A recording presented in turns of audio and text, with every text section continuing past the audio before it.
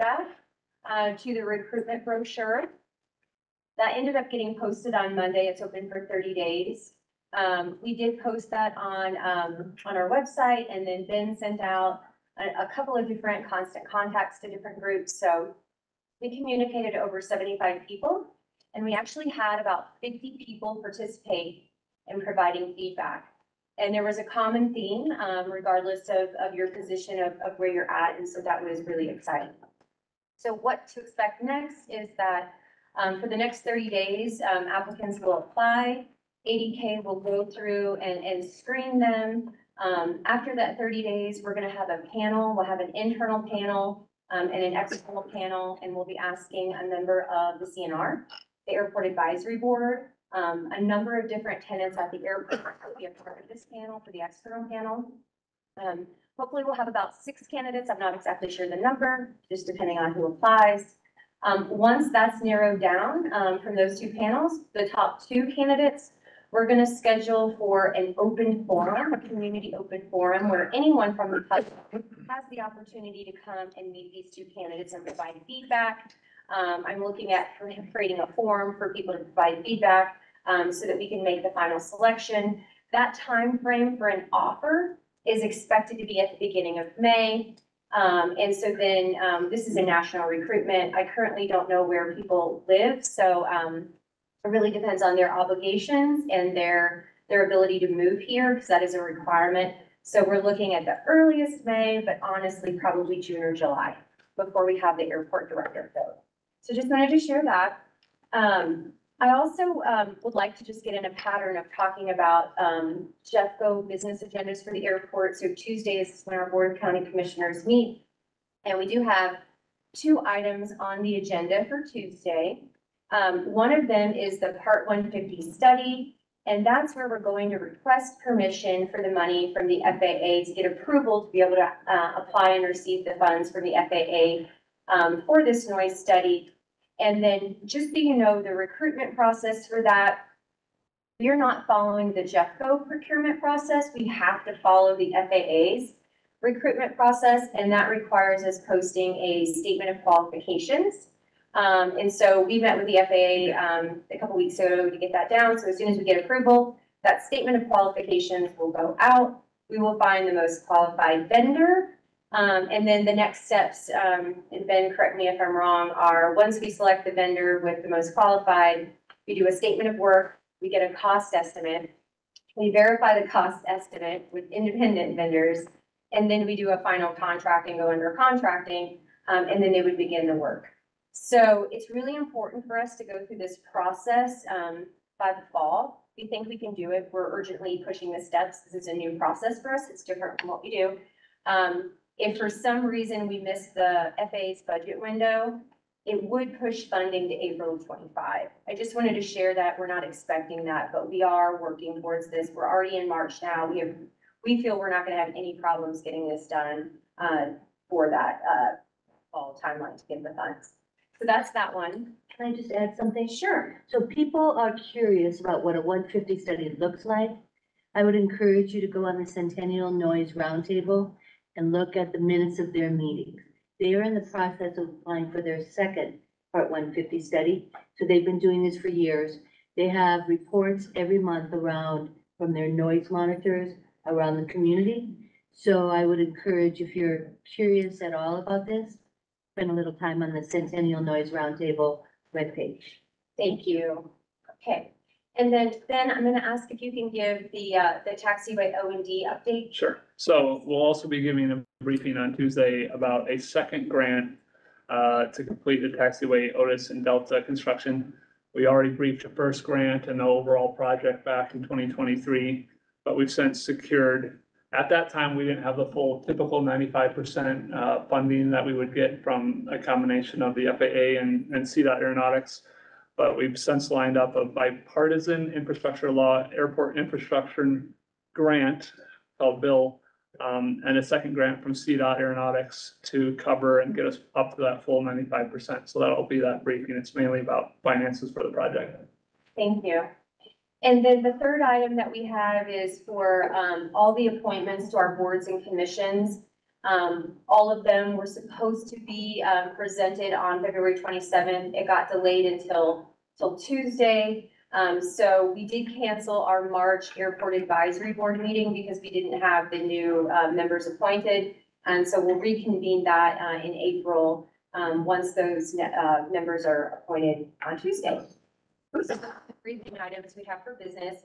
And then I also just want to share, um, one of our main priorities that we're working on at the airport is the transition to unleaded fuel. So we did, um, purchase a fuel truck and right now we're in the process of procuring the fuel tanks. We have two options. We, we can either buy new. We also have, um, someone on property that has an above ground fuel tank. And so we're looking at, um, having those conversations, I think this week, right? Yeah. Brian, they're Next having this week. Yeah. Um, to figure that out. So we are hoping to be, um, in that purchasing process for that tank this month. So we're just figuring out if we're buying new or procuring an existing one.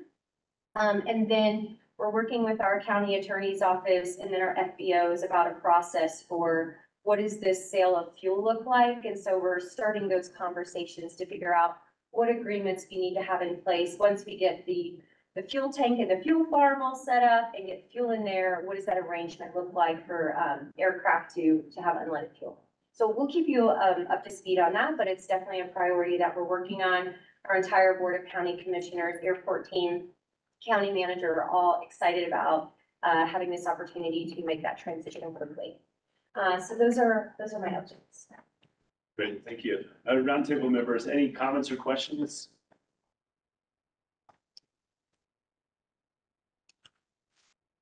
Seeing none, uh, we will. I guess I have one Oh, question. Yes, of course. On, on, on the purchase of the tanks for the unleaded fuel. Is that going to be enough tanks and enough supply to supply all of the aircraft with only unleaded, or is it just gonna be an option? It's gonna be an option. We have to have leaded fuel until twenty thirty. So, um, that's, that's a requirement. So twenty thirty is really when the unleaded transition is expected to happen. Um, so we will have to have that. What we are doing is making sure that we have unleaded fuel available.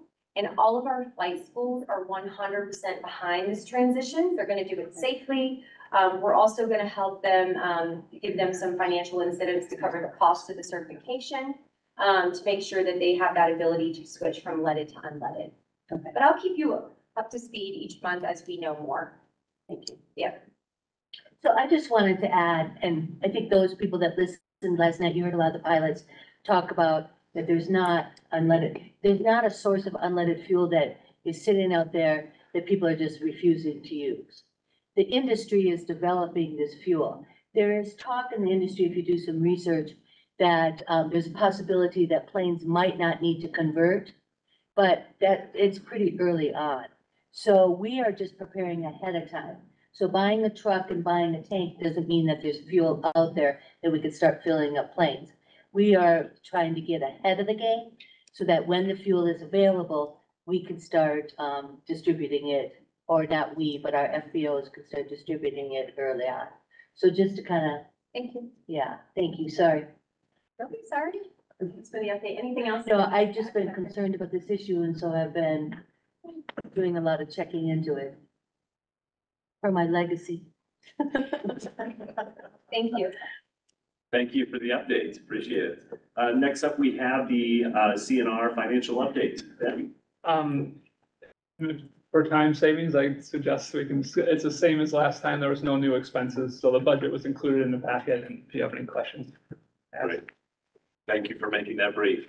Uh, next up, we have the roundtable agenda items. The first thing that we have to discuss, and I, and I'll say the first two things because they are together. The presentation and discussion regarding the visual flight routes, as well as the presentation and discussion, discussion regarding possible Western training grounds. Uh, so we have been working with our consultant, HMMH. Uh, this most likely will be their, uh, last, well, this will be their last, uh, report to us, uh, for the contract that we have with them. So um, Jason and, and Jean, thank you for being here and I'll let you all present. Um, so yes, um, we're, uh, glad to report, um, kind of a bittersweet end here, but we are um, coming to the end of our contract.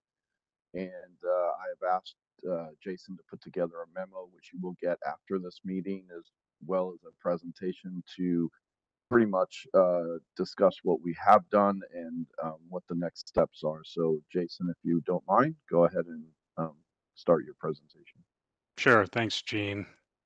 Go ahead. Ja- Jason will be louder than Gene is. Go I'm ahead. sorry, Jason. you- Okay, thanks, Devin. Can you hear me? We can, thank you. All right, I'm going to share my screen. Let me know if you can see it. We can see it. Okay, great. Uh, so this is just kind of a recap. Um, like Gene said, we have a uh, much more in-depth uh, 10-page memo uh, that we'll submit to you uh, after the meeting. We felt like this would be a little bit more digestible in this uh, in this venue. Um, so we just want to go over kind of the things we've accomplished to date and uh, and where we go from here. From the agenda, we'll go over a little bit of background items, uh, the data collection process, uh, flight procedure development, uh, additional mitigation measures that uh, that you asked us to investigate, including traffic patterns and uh, creation of additional uh, the Western training grounds, and then final steps in submission to the FAA.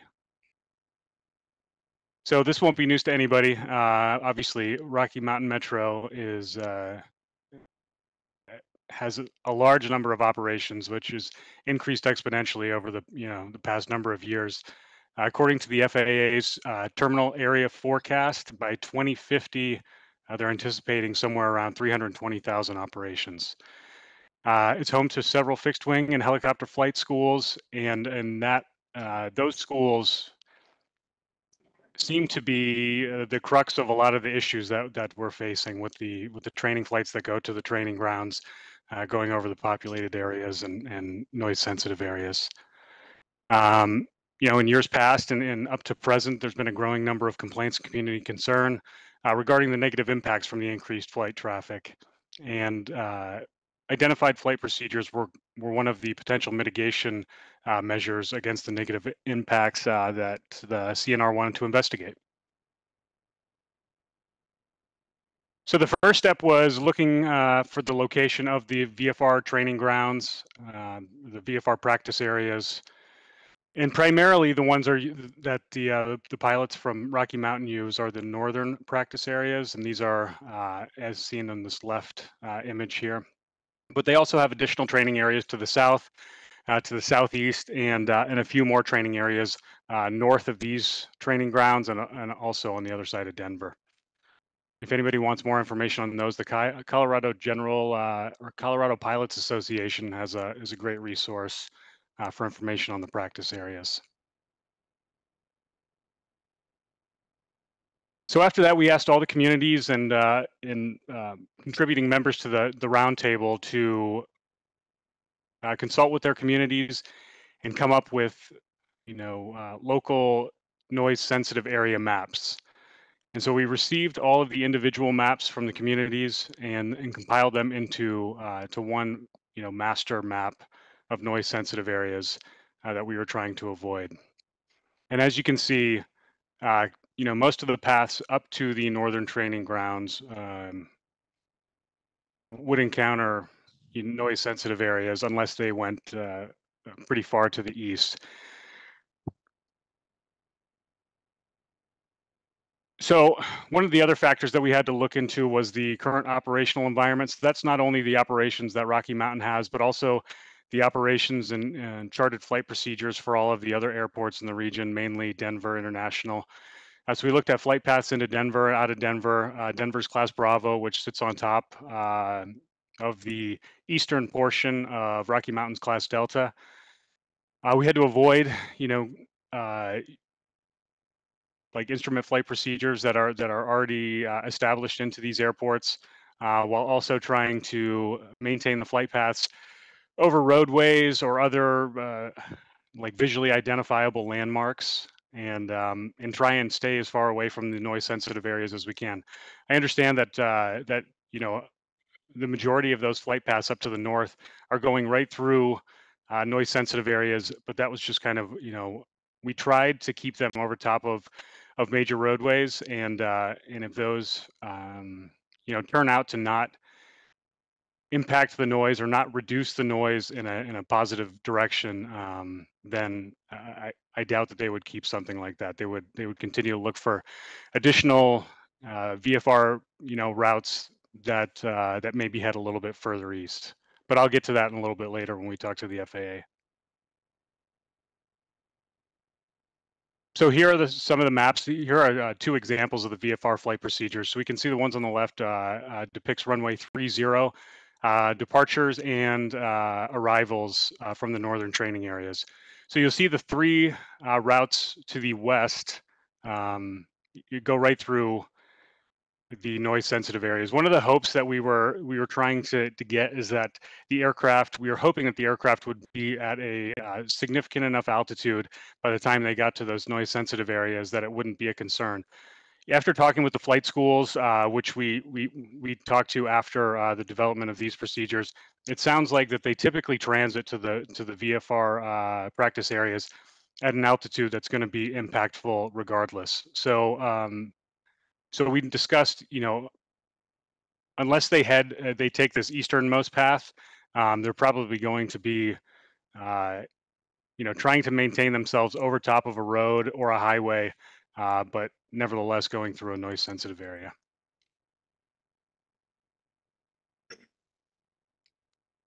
So additional mitigation measures that uh, that we were asked to investigate were uh, changes to the airport traffic pattern, as well as the development of additional uh, VFR practice areas. So one of the issues with the with the traffic pattern uh, changes is it's very difficult to make a, you know a blanket uh, hard and fast change to a uh, VFR traffic pattern. ATC has a limited number of tools in their tool belt to provide for the safe and efficient flow of air traffic uh, into and out of Rocky Mountain Metro, and their traffic pattern is one of those uh, tools and that traffic pattern expands and contracts as necessary uh, to accommodate you know uh, more flights less flights uh, flight uh, aircraft with different performance characteristics um, you know emergency aircraft all kinds of different uh, variables uh, would cause a traffic pattern to change size. So you know all, we, we do still agree with previous recommendations. Try and keep the, the pattern as close in as close in and tight as possible. Uh, maintain best climb, uh, rate of climb uh, initially uh, on takeoff, uh, intersection departures so the aircraft get the full use of the runway, um, allowing them to climb faster. Um, and basically, you know, just having ATC be cognizant of trying to avoid the noise sensitive areas to the maximum extent possible. Uh, one of the additional mitigation measures was the investigation of a an additional uh, creation of an addi additional um, VFR practice area to the west of Rocky Mountain Metro. So one of the issues uh, when we were we had our meetings with the FAA and the local flight schools. Uh, one of the issues with uh, putting the uh, potential new VFR practice area out to the west is one the proximity to uh, the Rocky Mountains. Um, and some of the pilots in the audience may be able to correct me if I'm wrong, but the word I got from the flight schools is that you know, kind of uh, at the very westernmost part of the Front Range, uh, you can get some some pretty interesting weather phenomenon, including wind, uh, which would make that an ill-advised location uh, for for novice pilots uh, attempting to to do their training. So if we move it a little bit further east, uh, still west of the airfield, but a little bit further east from the mountains, we start running into Rocky Mountains class Delta. And so the question was posed uh, at the last meeting that we were a part of. Uh, why can't we put the class delta, or I'm sorry, why can't we put the VFR practice area inside the class delta um, or co-located with the class delta, you know, in the same space? And at that time, uh, I, I, I, may have said that there was, you know, regulations against that um, or that there was uh, some stipulation that said you couldn't do that. So We've looked into that. Uh, I've requested the AT, uh, FAA uh, give us an opinion on uh, on that matter. But after uh, you know extensive investigation, it, it, doesn't look like there is any federal regulation uh, explicitly prohibiting the establishment of a, of a practice area within the class delta. However, I, I still stand by my original thoughts that that would also be ill-advised because like the VFR or like the traffic pattern, uh, the Class Delta airspace is uh, constructed for a purpose. It's uh, established for a purpose, and it's one of ATC's tools uh, to prov- provide for the safe and effective, uh, safe and efficient flow of air traffic into and out of Rocky Mountain Metro. If you were to reduce the size of that Class Delta airspace, the class so Class Delta airspace, um, it can have you know small variations in size from airport to airport uh, across the country, um, but typically it is uh, the size of the Class Delta is um, is constructed so it can accommodate uh, you know the typical annual operations that that airport would uh, would anticipate. So if you were to reduce the size of the class delta uh, at Rocky Mountain, you are reducing ATC's uh, effectiveness in, in providing for that safe and effective, safe and efficient flow of, of air traffic. Um, additionally, if you were to, you know, not reduce uh, the size of the class delta, but you were to put the the VFR practice area within the confines of the class delta, you run into an issue uh, with communication. So VFR practice areas are uh, typically have their own dedicated frequency. Now the reason for that is because they're not under positive control from ATC. Uh, they're not getting vectors, they're not getting climbs or descents from ATC while they're established inside these these training areas. It's uh, in essence, it's it's VFR, so it's uh, be seen. So one of the ways that they're able to uh, provide their own separation is, you know, by looking out the windows and also by, uh, you know, position calls or other uh, other calls on the dedicated frequency to other aircraft that are, are participating uh, in the VFR practice area. So if you have a VFR practice area inside the class Delta, uh, it raises a number of issues on whether or not you keep the, the practice area with its own uh, you know, single frequency assignment, in which case uh, you would have aircraft inside of ATC's class Delta, but not on their frequency. They could monitor ATC's frequency, but then they wouldn't be able to monitor guard frequency um, which could also cause issues. Or you have them on ATC's frequency, um, the tower's frequency, while they're established in the in the VFR practice area inside the class delta, uh, but that is just going to clog up the frequency, or has the potential to clog up the frequency and uh, inundate with a, a, inundate ATC with a with a bunch of radio transmissions that uh, they don't need to hear, and that could distract them from from making the calls that they they do need to make. Um, so all of that is not to say that it's not worth investigating, uh, because you know um, during my time as an air traffic controller, one thing that we always used to say is is that anything can be accomplished with uh, with the proper coordination. So um, I think it's still still worth investigating. Um, but you know, one of the you know, one of the reasons that VFR practice areas uh, are developed the way they are and why they're uh, um, you know why they're a favorite of you know flight schools is because they can be developed and established outside of the purview uh, more or less of the FAA. You know, local flight schools, uh, pilots, they can get together, uh, do their research, uh, find a piece of airspace that isn't typically used where they wouldn't cause any undue burden uh, on established flight flight procedures and establish a new um, you know VFR practice area with an open frequency uh, the ATC or uh, the FAA um, has little, you know, uh, you know, in, in talking with with uh, the FAA, they have, you know, as long as there isn't any issues arising that they're made aware of from the VFR practice area, they typically don't pay too much attention to it. Um, so if you were to establish a VFR practice area within the class Delta, that would necessitate approval from ATC, uh, which I think would be hard to come by. But still worth discussing with ATC. Uh, I have posed the question to both ATC and uh, the FAA's Denver office. Uh, have yet to receive a reply, but if you know if I do get a reply, I'll make sure to forward that information. So final steps in submission to the FAA. Uh, so throughout the process, you know, we tried to listen to comments from community members. Uh, I think the establishment of a, a Western uh, training area uh, was raised by a community member at one of the noise roundtables, and also uh, you know previous comments and uh, presentations on the reduction in size of the uh, you know the tower traffic pattern. uh, we tried to pay attention to the concerns and and do what we could to help mitigate some of those noise impacts. Towards the end of the process, we were able to secure a number of meetings with the FAA uh, where we talked about uh, you know the viability of these uh, traffic patterns, or I'm sorry, the, these uh, VFR flight procedures. So one thing that I want to make really clear is that in these meetings, um, FAA and uh, you know the lo- local flight schools were all made aware of the underlying uh, principle, uh, you know, that was kind of guiding us with the establishment of these flight procedures. It is never, it was never, and will never be the intention uh, of the FAA or uh, you know or HMMH to just just distribute uh, or move noise from one location to another.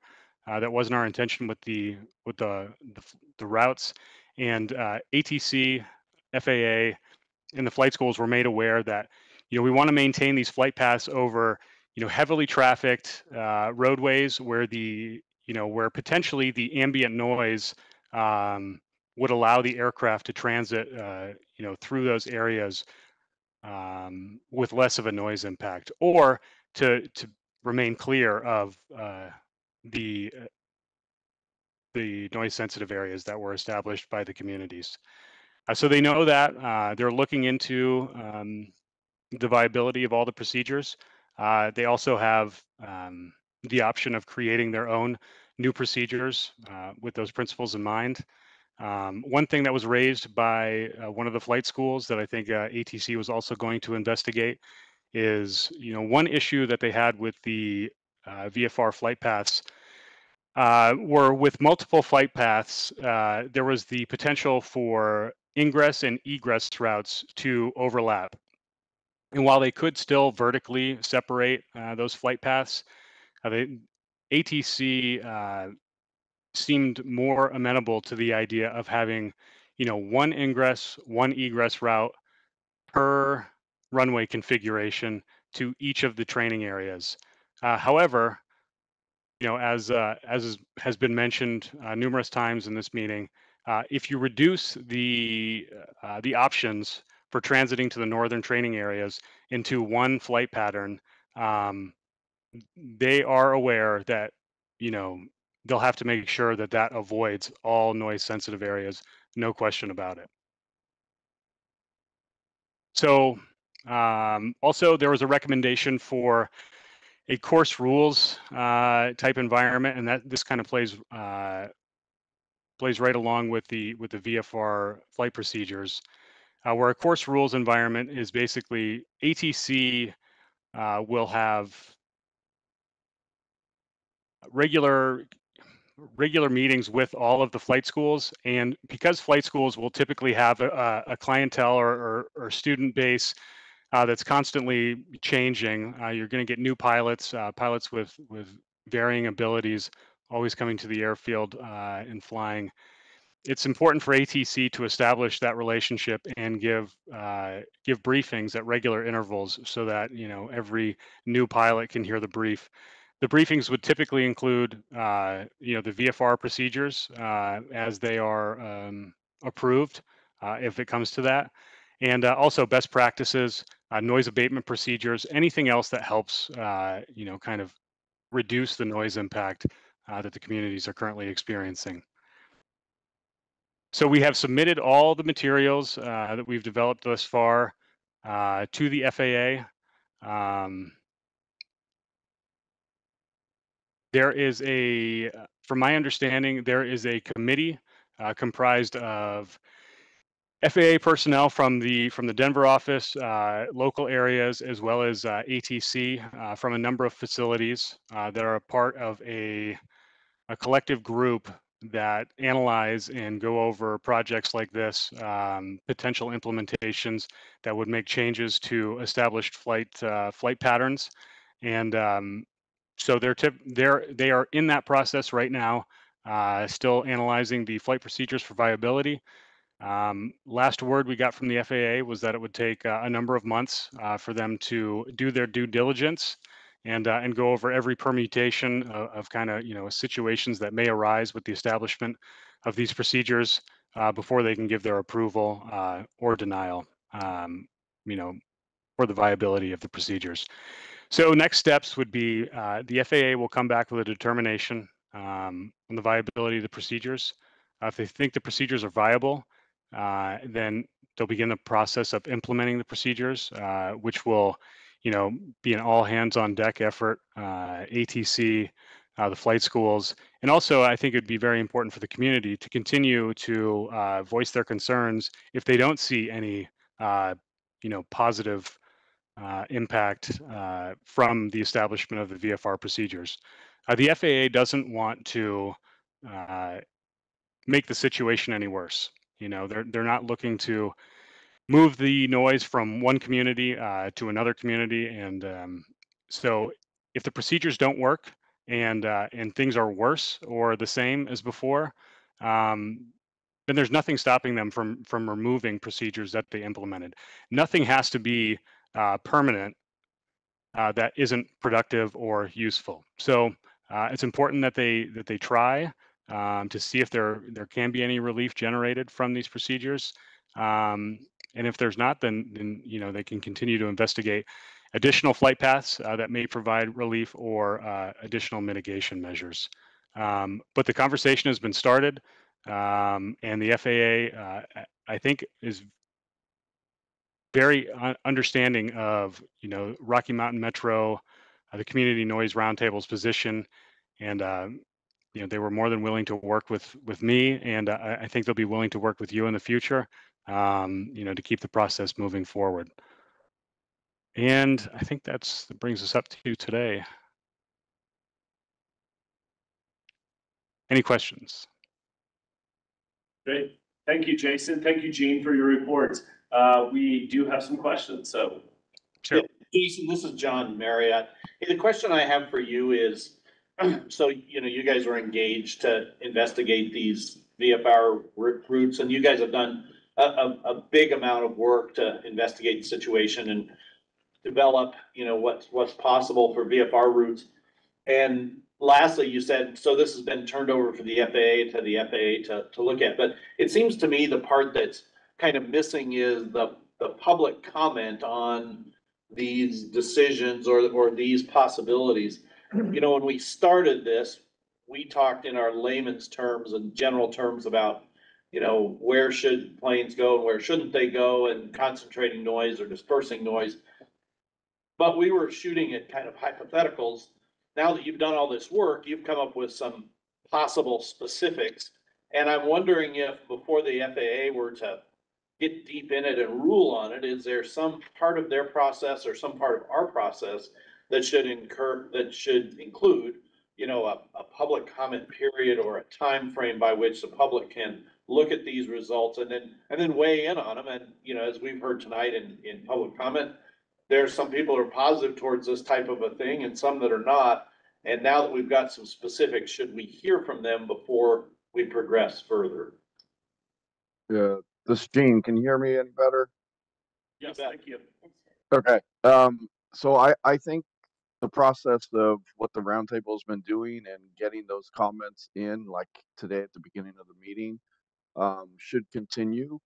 And, uh, I, I believe the next step that Jason alluded to is that the FAA would come back with, these are viable or not viable. And if they are viable, it's still up to, I think, this group to tell the FAA whether or not they want them to proceed to implement those procedures. And so um, it's it's really up to the roundtable to determine at that point whether they want to proceed.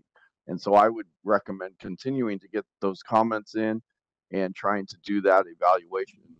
Um, and one of the things is that having those four egress and ingress routes does help disperse it. And so if the FAA does come back with only one, um, that could pose a problem unless it's the easternmost one. But um, I would I would just say that I would put it on the roundtable shoulders to make sure that um, all community input is taken into account before you um, ask the FAA to go ahead and implement. Okay, thank you. Any other questions, comments at this point? Commissioner Stoltzman? Thanks, yeah, um, Director Marriott, my, my understanding was we didn't even know if these routes were viable. Sure. like if they were even doable. So we were just finding out from the FAA, are these even pathways that are possible for us to consider? Um, I, I suppose, I guess you, we've expended all of the money in the contract at this point. and so I would hope tonight we can kind of have a, co- a discussion about like what are next steps and like what are likely outcomes. So that's where I hope we, how, where I hope the conversation goes, for sure. To me, I was kind of looking at it as a chicken and egg thing, you know, that, that we didn't know what the possibilities would be. We now don't know if the FAA finds it viable, but if, if the public finds them unviable, is, does the FAA continue to go on? You know, at which, at which point goes you know, That's where, sort of where what- does, where does it? That's sort of what I'm saying. So Boulder County collected public comment to develop our noise sensitive areas. And so all of the areas for the four routes that go north are over noise sensitive areas that we would object to. Um, and I heard you say four areas, but just want to remind you that you did develop some VFR routes to the south as well, so it makes the number higher than four. Just ask a follow-up, just new here, Please trying to do. understand the process. Please do. Good for you. So we submitted noise-sensitive areas to try to avoid those noise-sensitive areas. But then the routes that were created went through those noise-sensitive areas. Am I, is it, am I, Yep, that's correct. That's But we correct. did- Yeah, one of the things that Jason said though is that in doing so, we also lengthened the distance between the airport and those areas to try to get the aircraft higher. But as we heard from the flight schools, they may not be all that much higher as a result of that. So I, so, you know, something additional that I want to touch on is, you know, in speaking with the FAA and kind of taking their considerations uh, and their comments uh, to heart when developing these procedures is, you know, we're kind of forced to, you know, I guess, you know, serve two masters uh, to get to a a reasonable outcome, right? So if you look at the noise sensitive areas, uh, it, it encompasses almost, you know, virtually everything due north of, of Rocky Mountain on the way to those those training areas. So as it as it stands today, I mean, those aircraft are flying through noise sensitive areas, right? So the intention was, you know,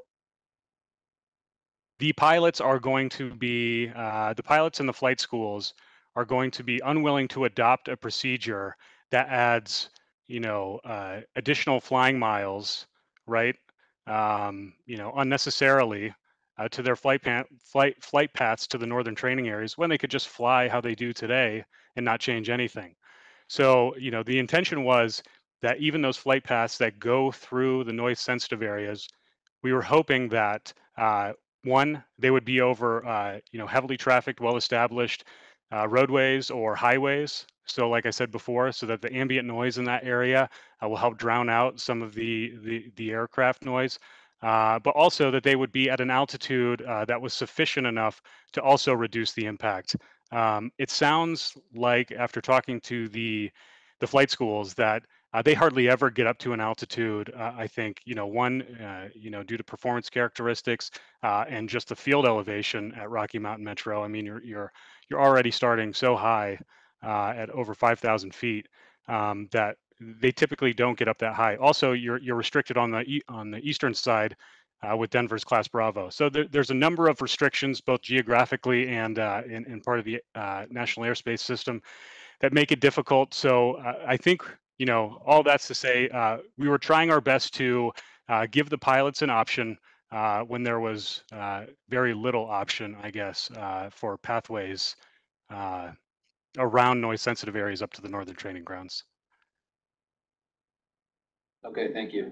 And just to confirm, if I may. if it's. Go for it, please. So the only stakeholder engagement that has been done so far is through this body for these routes. Is that correct?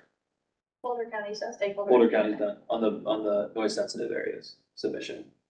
Okay, And I just, and I just, uh, so HMMH talked about some of their stakeholding that they did, right? They met with the flight schools as well, so. outside schools. Yep, okay. Got it. And my final question for you, thank you, Jason and Gene. Um, are you aware if the FAA is also, it seemed like you referenced this, I just want to confirm. Is the FAA also working on flight, proposed flight routes sort of parallel to this? No, no, no, no. So I, I, I think I, that that may I may have uh, um, you know said that in a confusing way. So what I meant to say, or, you know, hopefully this is, is clear, is that, um, you know, we tried to be explicit with the FAA what the underlying intention of the flight routes were. And that these flight routes, these proposed routes, while they were our best effort, are not the be all and end all uh, only solutions for VFR flight procedures. So, you know, the FAA, ATC, you know, local pilots and, uh, the flight schools, uh, they have a local knowledge that, that basically can't be replaced. Um, so if they determine that they have, uh, you know, more viable options after looking at the, the proposed procedures, or after they implement, they're like, "Oh, you know, if we shifted this one a little bit further, that option is open to them as long as the community is behind it. Um, so that's all I'm trying to say is that uh, if these procedures don't work, uh, it doesn't mean that there aren't procedures out there that won't work, and uh, the FAA is aware um, that they will, you know, continue to try and find if that's if that's your wish, uh, continue to try and find paths uh, that avoid noise sensitive areas and reduce the uh, the negative impact that uh, that you're currently experiencing. Yeah, if I could add to that. What we found is that really the FAA and the flight schools want to help. um, they want to um, find a solution. They're just scratching their heads a little bit now too as to whether you know what that solution really is. So I think the good news in all of this, even though the FAA's taken a while to review the procedures that we gave them, is that one they they understand the problem and they want to help solve the problem. So if these don't do it, it like Jason said, don't don't feel that you're done at that point because the lines of communication with the flight schools and the FAA have been open. And um, I just encourage you, this body, to continue keeping those lines of discussion open and working with them to help solve this problem. Thank you. Any other questions, comments?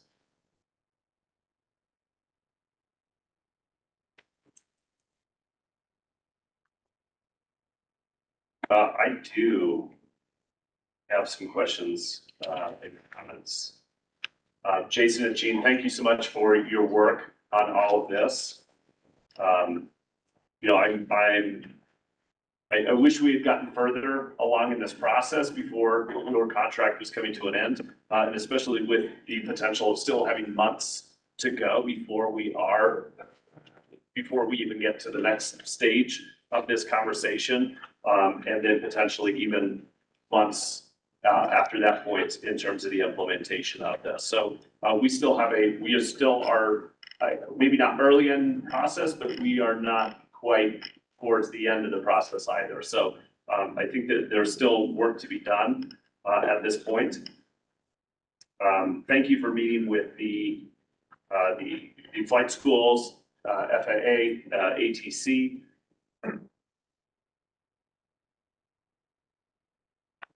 Sorry, I'm just looking at my notes, make sure I got everything. Oh, um, so the, uh, the ten-page report, so you'll be sending that out to the community noise roundtable? Is that correct? Correct. Yeah. Uh, Whoever you'd like me to send it to, I was going to send it to you, Devin, um, um, for you to distribute. But if you want me to send it, if there's an email for the for the community noise roundtable, I, I can send it wherever you like. You want to send it to me, I'll send it right to, uh, Ben Miller, uh, with the airport. We'll get this on to the community noise roundtable, uh, page for all the public to see us, and then we'll make sure that the, it's distributed to all the members of the roundtable. Um, and then I would assume then, uh, along with that, we'll make sure that we post tonight's presentation on there as well. So Gene and, and Jason, if you'll make sure that that presentation you send to us so that we can get that posted onto our CNR website as well. Will Yeah, do. Awesome, thank you. Um, so at this point, uh, do we have any more conversations regarding the visual flight routes or the western training grounds at this point?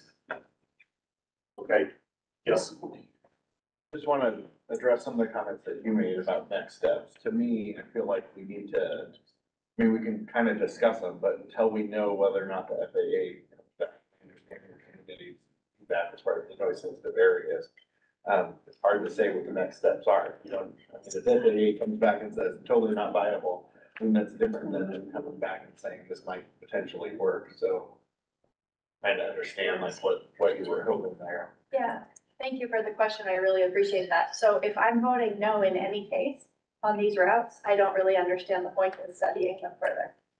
because if one member votes no, then they're not going to be adopted by the board. So I guess maybe that's the point of my. That's a fair point. So then the other part of your, your comment though was next step. So in your mind, voting no, then what would be the next step of the body? So I just wanted to understand what are, so I, no, I mean this in no way disparagingly, but HMMH has a financial interest in continuing to study this indefinitely, right? And so I guess I just want us to think about logical conclusions and understand like what are, what are actions that we may or may not take? And like, if we are to write a contract, what are the terms so we get whatever deliverable? Like, we had a finite amount of money and hours to spend this time and didn't necessarily get out of the contract. Maybe a deliverable, right? Like, we expended all the money for the time that they spent on it and they've done a ton of work. Um, but we didn't really give it deliverable. So if there is interest from the group in continuing to study something, I would want to understand what the terms of the contract would look like, so we would get a deliverable that would have like meaningful, something meaningful for the group to act on. That's, that's kind of what I meant by next. Well, I think that's fair because I mean, from my perspective, I would think that we would want to know what, what we believe that should be so that we're setting some of realistic expectation. I think some of this is to some extent, you don't know unless you try some stuff. I think been in that territory quite a bit. Um, so just trying to understand, those are all fair points. The other thing I wanted to bring up, uh, for your benefit from, you know, just what Westminster put forward. I, I think it's a difficult challenge that we've asked, because if you look at what Westminster's noise sensitive areas are, it's nearly everything around the airport. So I mean, you can't, you can't get out of the airport and fly over Westminster and, and not be considered noise sensitive. And I think most of the communities are very similar as far as what they put forward. And I think it's, you know, to the point of what a lot of the residents have said here tonight. You know, nobody wants it moved over their community in lieu of a different community. So, um, I just wanted to bring that up because I, I mean, and at some level, it, you know, feels like a pretty daunting task when your staff gives you back a map that's basically everything. It's like, okay, well, where are they expected to go? So. Well, and I think that's great, Director, and, and that's why the Western Airspace Training Area is interesting and why they were looking at it for us. And if you look, there are some pilots that under tower control do do maneuvers and practice there. They're obviously under tower control because they're in the Delta airspace. I have lots of maps that you can look at and, and I can show you that there are several pilots that from time to time, when there's not a lot of activity going on, ATC lets them go over there underneath their control. Um, and other airports modify their airspace, um, to different shapes. They're not always like perfect circles and like there are a number of different things that people have done to allow for creative solutions. So I do think like that area, if you look at our noise sensitive area, is the only space that's not identified and it's super challenging. I think you've presented a fair, very fair. point. Yeah, and I'm, I would second what you said about the idea of the western training field. I mean, that was something that sounded like it could be full of make it work, but understand the challenges, so. I just want to throw out that a year and a half ago, a year and a half ago, we did a beta test in which we had planes for a month fly up two eighty-seven, not go through Superior, but just go follow two eighty-seven, took up to the northern training ground. So when we're talking about why don't they go over, you know, other areas, we tried that, the complaints increased. Why do you, say why, I I believe was you. surprised, dude, I that's believe why. you. Look, there's a lot of, there's a lot of houses around Oh, if you, but if you go up two eighty-seven, up the, the road, Yeah. yeah, not in the neighborhoods, not over the houses. There, there's, The houses are right next Uh, public, this is not a conversation, uh, between the there are board and the neighborhoods public. all around that Thank road. you. Right, well, no, I understand that. Right, yeah. But so that's why I believe that the Right. complaint increased. Right, so when they are looking at where does it go, that, to me, that, that would be a logical thing that we would be looking at, but it was not filed. Well, let's, and let's remember with that beta test, so we had signaled to our flight schools that we would like to, to, to test this route out.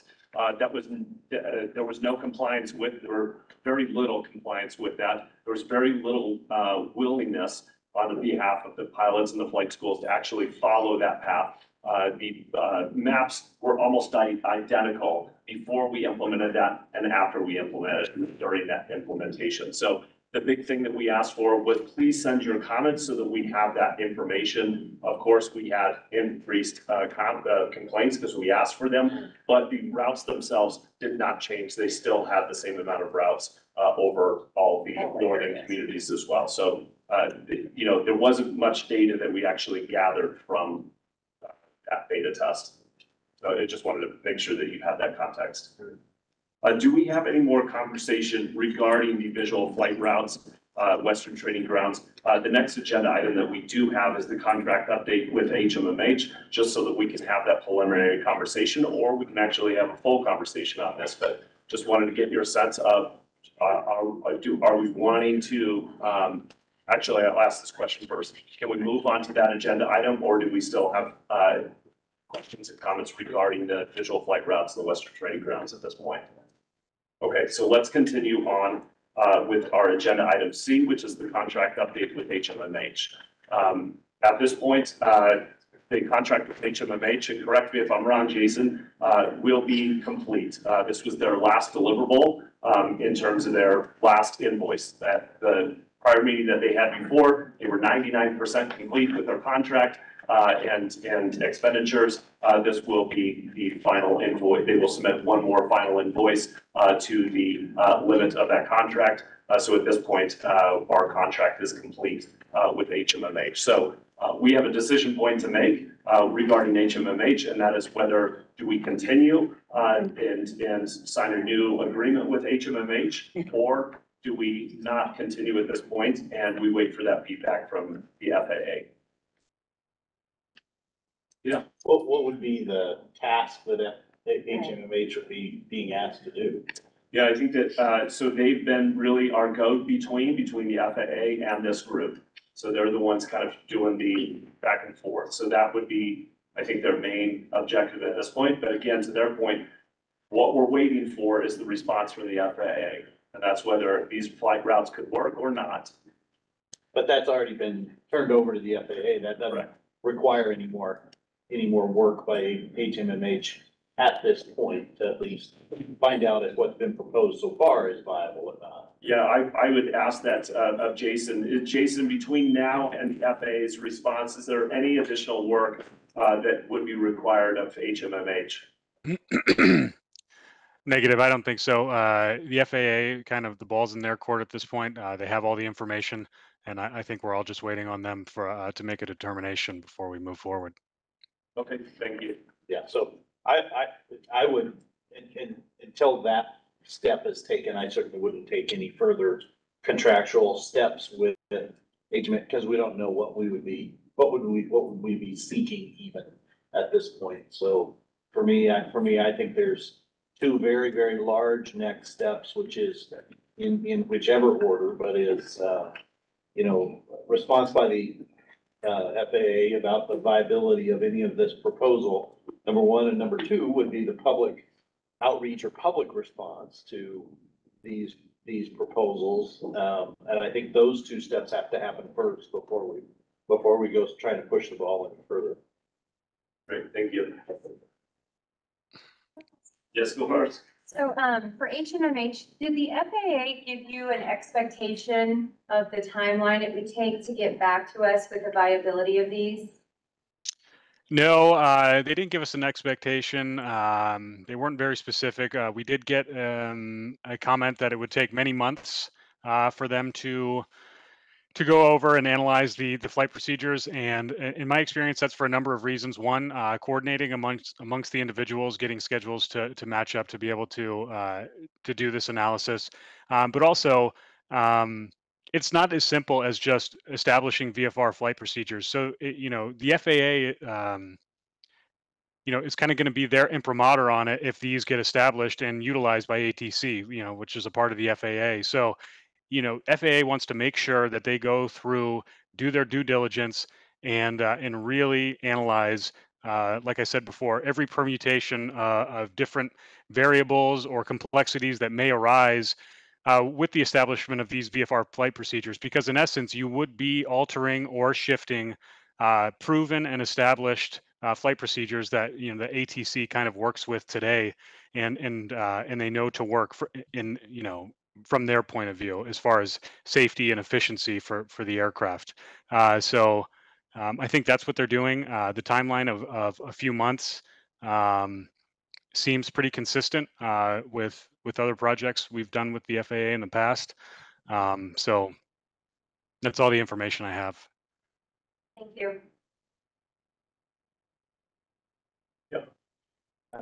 I'm in the same position as, uh, Counselor Marriott as far as like, I don't see that there's a, the next step necessarily in front of us. And then from Westminster's perspective, I certainly would need to know what that next step is. And if it's gonna cost something, I would have to get that approved by myself before I could really speak on it anyway. So I, to me, the logical next thing is to actually find out what the FAA says and then have a discussion as a group about it. Uh, with enough time before a decision, then to bring it back, at least to Westminster, to Westminster's council and see what the majority would want. Okay. Uh, I have a question, so, and it just popped in, and I'm sorry, I'm gonna kind of have to go back into the agenda. So, uh, if we have a member, if, if the FAA says these routes can work, and at that point, we have public comment, um, and then we have a vote to, uh, move forward with these routes, or signaling to move forward with these routes to the FAA, and one jurisdiction's votes no on that, are we back to square one? So, so I will say that in discussions with the FAA, one thing that the FAA was concerned about, if you remember, Devin, uh, in our first meeting, uh, we had to come back and and have the the roundtable. Uh, I can't remember if it was a vote or just to uh, explicitly state uh, that they approved these flight procedures. So I guess the FAA has had some concerns in the past um, where you know, they do all this work to, to, to try and move forward with something. And I'm not saying specifically here at Rocky Mountain, um, at other airports, uh, where a noise roundtable, uh, has, has agreed to, uh, the development of, of, you know, some procedure that's, that's going to change at the airport. Uh, they do all the work, uh, find out is viable, only to find out that, uh, that the communities, do not want these procedures and, and nobody can agree on, on whether or not they want to move forward. Um, so that's why they made us come back to the to the roundtable uh, and get that uh, that explicit yes, so that John uh, from the FAA could hear that, and then uh, and then move forward. So I think from FAA's perspective, uh, they are already operating under the assumption that these are approved and that uh, if they find them viable, um, that that there is nothing kind of um, standing in their way from from implementing these procedures as soon as they as soon as they see fit, I guess. Okay. thank So you. i- if, there- if there is concern, I would just, uh, you know, I would, I would make the FAA aware of that, I guess. Yeah, so the, from my perspective, the vote that we took was that we were interested to understand the viability of the procedures, that we were interested to look at the viability of the procedures. And so Yep. I'm happy to make a motion, um, to say that we won't accept the procedures and just move forward. I'm happy to make the motion here. I don't, I don't even know, I mean, I guess signaling that you aren't going to be accepting those procedures, I mean, we don't, I mean, even if it, even if it failed, even if that motion, motion That's why- failed, it doesn't really matter because we need a unanimous, we need a consent uh, for that. So I, I guess you're more than welcome to make, make that motion and we'll, because you made a motion. And if there's a second uh, to that motion to not accept, and please rephrase your motion so I don't. Do you want me to make it as a positive motion that I'll vote against or a negative motion that I'll vote for? I'm happy to. I always like voting for something as opposed to voting against something, so. So I will make a motion that we do not, that Boulder County does not accept the proposed pass. And I think ultimately that, that, uh, the CNR not accept the proposed pass. Yeah. Or not move forward. I with accept the friendly proposed amendment. pass. Seconded. And we have a second. I Uh, have a and, and now we have discussion. Yeah, I have a question about, about your motion, and the question I would have was, was there any paths that would have been acceptable to Boulder County? Well, so we asked for studying of a southern path, and even today, the consultant said that they're looking at four paths, and they submitted four paths, and those are all the paths to the north. And like, we asked for a western tra- training ground to be explored, and it was like, well, it's early and we don't know, and there's no answer. So, Like, we, we asked for a number of things that were disregarded. I guess my response would be, I think in the port, there is a southern, uh, VFR path. on, I on. haven't seen the report. Okay. There's some report, I've not gotten a copy. It was, it was in the presentation and I've, I've distributed the southern paths to the, uh, roundtable as well. Right, so, so that's number one, and number two is, um, they did work on a western training grounds, now the, the, the outcome might not be the outcome that Boulder County would have favored, but is, is, is that the, the genesis of your opposition to the, to the potential paths? Or is, is it the paths themselves that, that there's an objection to, and if, if so, what, were there, were there alternatives that would have been sufficient. I'm just trying to understand what Boulder County's position in this would, it is. Yeah, so we have been pretty clear that we're looking to understand if there are other alternatives to just putting all of the training areas in Boulder County and all of the flights over Boulder County, the vast preponderance of the flights over Boulder County and the residents in Boulder County. And, and so even as it was presented today, the solutions were to put, to concentrate all the flights over Boulder County. That was what was presented today to us. I guess to me, what, what, um, what I see as was presented was the existing condition, the existing traffic was some proposed paths to handle the existing traffic, and that seemed to me to be the, the goal of this, of this whole exercise was to, to manage the existing traffic, And I'm, I'm not not, to rewrite the book on situation. yeah, and I'm, I'm not trying to be difficult. I think if I wasn't the one voting no, I think Lafayette would vote no. I think it's likely the Superior representative would vote no. I think it's likely the Louisville representative would vote no. I'm just trying to get to next steps. I'm really actually not trying to be difficult. It's like, we've, I, I think in good faith, everyone's come together. We're having really good conversation, trying to figure out, are there ways to mitigate this? And we've said that we don't want to move going from one area to another. And so I'm just like, we continue month after month to not kind of get to the next step. And so when I was saying, like, what are the next steps? I'm, I'm just trying to help us get to a conclusion. Fair, So fair. I, I was willing to just sort of be the heavy and be like, it's my fault, but I actually think there's se- probably several people around the table that at the end of the day are gonna end up having to vote no for these routes. Yeah, fair enough.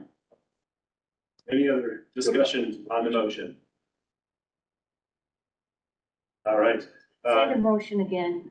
the, the motion is to not accept the VFR routes as presented. So, So- so a yes means you don't accept them and a no means you. So that means we don't want the FAA to look at them to see if they're viable. We just want to stop and not do anything. We would communicate that to the, VF to, to the FAA to, to not continue to, uh, look at these routes. And that includes the four north routes, but also the south route and also the western training ground. So that's the whole thing that each MMH has put together. Let me ask a clarifying question. So, uh, Jason, you submitted the four, uh, VFR routes to the north. Did you also submit routes to the south as well?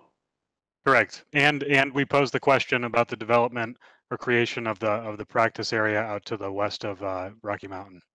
So I'm Right. specifically talking about the VFR routes. And none of the existing training areas are FAA training areas. They're frequencies that the pilots use to practice, like an FAA sanctioned training area is a totally different deal. And so we can continue as individuals or air traffic control or Jefferson County who owns the airport to explore the training ground regardless of this motion I'm making. I'm just talking about the VFR route. So you're talking about the nor, the VFR routes going north. The four routes going north, that's what you're talking about. I am not gonna be able to vote on the route. I'm, so I have laid out several times that I'm not gonna vote about routes over other people's communities. I'm gonna defer and, And I, And I and I understand appreciate what you're not gonna do. I'm trying to figure out what I'm gonna do. yeah, so But I I'm would trying be to figure out what this motion is. I, I will not be able to support the VFR routes that are presented if we were to vote on them. So that's what the motion is about. Uh, and, and just to clarify, all VFR routes, we're not talking north, just north, we're not talking, Yeah, and I'm just saying, I'm not gonna weigh in on whether the south one is appropriate because that's not my community and I just wanted to clarify. Great. Any other comments, questions on the motion? Yes, I mean, we as a group are all voting on things that impact each other's community. I, I mean, this is kind of a partnership, so I, I mean, anything that we do is gonna impact each other's community. So how do, how do you propose that we do the business if you're not willing to vote on something that may impact my community. I'm willing to vote on it. I'm looking to you for guidance on what you think is right for your community. I'm not going to tell you what's right for your community. Um, I, I guess with that being said, I, I even am a little frustrated we're even voting on it yet, because I'd like to hear what the, the the findings of the FAA are, and if we're, we spent money on this, we, we Right. took taxpayer money, we all said, we're gonna look at this. We made a commitment to each other's communities, and so now we're shooting it down before we even find out, and I, I have to imagine, like, my community, I, I realized there were gonna be parts of it we probably wouldn't have liked. Um, that's part of collaborating with each other's communities, I think, and realizing that there's gonna be some give and take with this process. Um, so I'm frustrated that that, that's where we're at with it. It's just my, my two cents on it. I hear you, and I don't feel a lot of give and take. Uh, the preponderance of traffic goes over Boulder County, so there's not a lot of give and take that has happened. We just heard that there are south routes that are in there, and you're saying you don't wanna vote on those, and we're throwing out all the I'm just. I'm just not making comments on it. I can't vote on this package, and I think the FAA deserves to hear that before they waste a bunch of time and further taxpayer money. FAA's taxpayer money, all of us are taxpayer money, like it's all taxpayer money. So I do think as soon as we know something's not viable, we should move on. And I don't know, can, can other areas to the north, like, are, would you be able to vote for this thing? I'm not, I'm not clear on all of the, the conditions and, and what, which way we should go. Um, I'm disappointed that we put all this money into the research and then not let, at least let the FAA weigh in and give us their opinion. I mean, even if it's, no, it's not gonna work. Uh, um, I most certainly cannot support these routes, the way that they're designed through Lafayette at this point. And I think we heard that really clearly from my council on Tuesday, and I've heard it from my community. So I'm happy to keep working on routes. Like, I, I do think that there's a, there's a, there's a compromise we can find, there's a route we can find. Um, but as it is right now, and as it is currently to the FAA for their feedback and for their determination on if it's viable, that's a waste of time as the routes to the north are currently designed. All right. Any other comments on the motion? So can I clarify something? Yes, you may. Did we not vote on this already? We said we were interested in exploring the viability of them, but I think this is just to give the signal that even if it, it's important to let the FAA know that we're not interested in implementing them.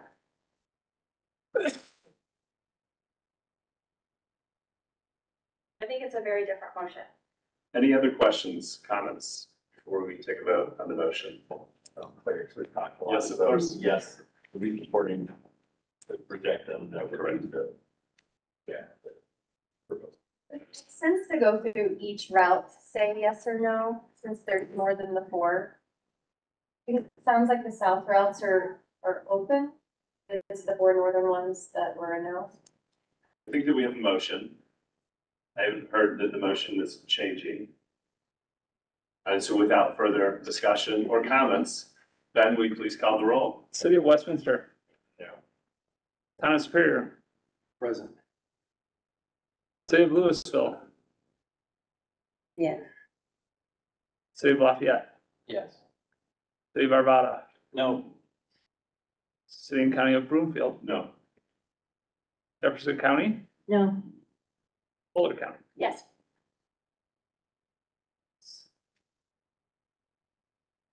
It doesn't matter. Four We noes need and three yeses. Consensus, and if we have no votes, it's, then we don't have to count the votes. No, no, we What? have no consensus. If there was one that should go forward. So, Motion so, fails. so it- what, uh, so the motion, motion fail- fails. However, um, because we have three jurisdictions that Right. are unwilling to move forward with these routes, we really need for this vote to be hundred percent consensus. So the outcome of this is we will communicate, um, I, I, will, I'll take the lead on that along with the airport and, uh, and I'll reach out to our consultants, um, to communicate to the FAA that we do not want them to continue, uh, studying these routes and to provide us feedback on this. Uh, because we have jurisdictions that are not willing to move forward, uh, with these routes. Okay. Um, so we have now covered our routes, we have now covered our contract, which we are not going to engage at this point with HMMH. Um, the next, uh, piece that we have, uh, is the update on the voluntary nighttime pattern. Uh, yeah, Ben, if you wanna bring that up. Um, I mean, with. Go back, but I'd like to ask a quick question. So we, we ta- we tabled looking at a contract with them because we wanted to wait for results. Now we know that basically that's been thrown out the window. They're not gonna do anything with that. So I think it's a fair question to ask, does this body wanna do anything with the consultant and trying to find a solution? Are we just what's the next, that's what I asked before, what's the next step from, from this body's perspective? Because I, I feel like we're here to try to make, and I know we have another potential solution ahead of us. But as far as this work, what's the next step? So I, so I would suggest, um, that, uh, we get through the night, voluntary nighttime pattern, the daytime flight, uh, patterns, and then under committee and board member reports, we can tee that conversation up, because I think that that's where that conversation needs to be. Of course, during that, we won't have the ability to make any motions at that point. We'll have to put that onto a future agenda. But I would suggest that we have that conversation under there. Is that okay? That, that's. Perfect. Jason, back to you. Great, thank you. Um, the numbers really haven't moved too much since last time. Um, I have provided, uh, data supporting, uh, the numbers and those will be on the uh, CNR website going forward. Um, in addition, um, I'm still just up to February twenty-sixth on that data. Uh, by Monday, there will be new updated information on it to follow it through, uh, this coming Sunday and Monday at six AM. But, uh, um, I think if you scroll bottom part, yeah, it's just, one more, thank you. Yeah, we're still, since the inception of it, um, forty-nine percent compliance overall, and since the meeting of the flight schools on the thirteenth of October, we're at seventy-three percent compliance. Um, we're looking at this, excuse me, as being an opportunity for the summer when it gets warm again, and obviously the pilots are gonna start flying later and later past ten o'clock. That's an opportunity for them to an opportunity for them to use the voluntary nighttime procedure to alleviate a lot of the uh, flights over the uh, populated areas. So um, does anybody have any questions on that? Any questions? Okay, great. Um, Daytime ones, let me get up and do this because I'll be pointing a lot and I'll try to stand to the left, get out of your way, but for everybody in the audience, if I'm in your way at all, yell at me, I will move. Jason, can I, can I ask a question before, before you present this? Because I find myself in a strange spot on this agenda topic. Sure, sure. So my understanding is the town of Superior. I will get to that. I'm gonna answer that. I'm just asking if Yep. maybe we should not have this on the agenda to discuss, because I, I, I'm just, are you going to vote to support this agenda topic tonight? Let's go through this first and then you'll, yeah, I will, I'm not, I'm not evading your question. It will be answered. And I'll answer it right away, actually. Um, so We are. No. Oh, thank you. So, yeah. Okay, can everybody see the little part? If you can't, like, give me a holler. Um, this was brought up to the, uh, Town of Superior Board on the twenty-sixth, and it's actually was being stayed, because she's stealing my thunder here, but I just wanted to say in full disclosure of everybody, the Town of Superior does not support this plan. There were seven of us on the board, four are against it, myself and two other trustees are for this plan, but we live in a democracy and I respect their decision. So what I'd like to use tonight in presenting this, because there were a lot of questions last time about tabling the vote, getting some more information on this, and there were some very good questions on my board as well, asking questions going forward. So I'd like to do a presentation, just answering some of those, and use this as a model as we go forward. What can we learn from this? What can we do in the future? What can we try? Different plans, different things that we can try to push this process forward to try to get some sort of solution and, you know, relief for our communities. What we have right now is, um, opportunities, but opportunities we have to always push forward. So, um, I'm gonna present this, I'm gonna talk about the current pattern, what it is, what I think it fails in, and what we can do going forward to try to move things in a more direction, a better direction. And I'm also gonna talk about access to the training area. I'm gonna talk about accessing Boulder County, Louisville, and Lafayette as well as trying to get to the southern training areas, because these are areas that I felt could overlap with HMMH's work. And I think using this pattern as a study going forward, we can kind of talk about ways where we can get the planes at a much higher altitude before they cross Highway thirty-six going to the north. And what we can do with the pattern to create a southern route to the future training areas that could pop up south of the airport. Uh, next slide, Ben, please. Um, yeah, just get this one. This is what basically the anatomy of a touch and go patterns right now. Um, you can take off your upwind leg, you come to the crosswind leg, you turn, you continue down your downwind leg to the base leg, and then you come to return to the airport and do your touch and go and return again. Really simple pattern. That's kind of what we're looking at right now. Next, Ben, please. Thank you. Here's the pattern we have right now. And the issue we're having with this pattern is that, sorry, guys. In the upwind leg, we're coming to the crosswind turn right as the pilot's in superior. And this is going to become a lot more prominent as the weather gets warmer. The pilots are going to experience a lot thinner air density, so the climbing of the airplane is going to get a lot harder to get to a sufficient altitude. Right now, we're seeing they'll be able to turn at 6,200 feet, which is 300 feet below pattern altitude of 6,500 feet, which is roughly, give or take, 1,000 feet above the tarmac here at the airport. They're trained right now to go 300 feet before, before pattern altitude and near crosswind turn. That essentially is putting them directly over the town of Superior right now. They're doing their crosswind turn directly over K through eight elementary school and coming back over to more of the neighborhoods. It's maximizing the noise duration and it's maximizing the times the flights are over the town of Superior. Um, and if you also think about, you know, I think one, uh, one resident was earlier, um, left. When you enact a crosswind turn, anytime you're turning the plane, there is an increased opportunity for the plane to stall.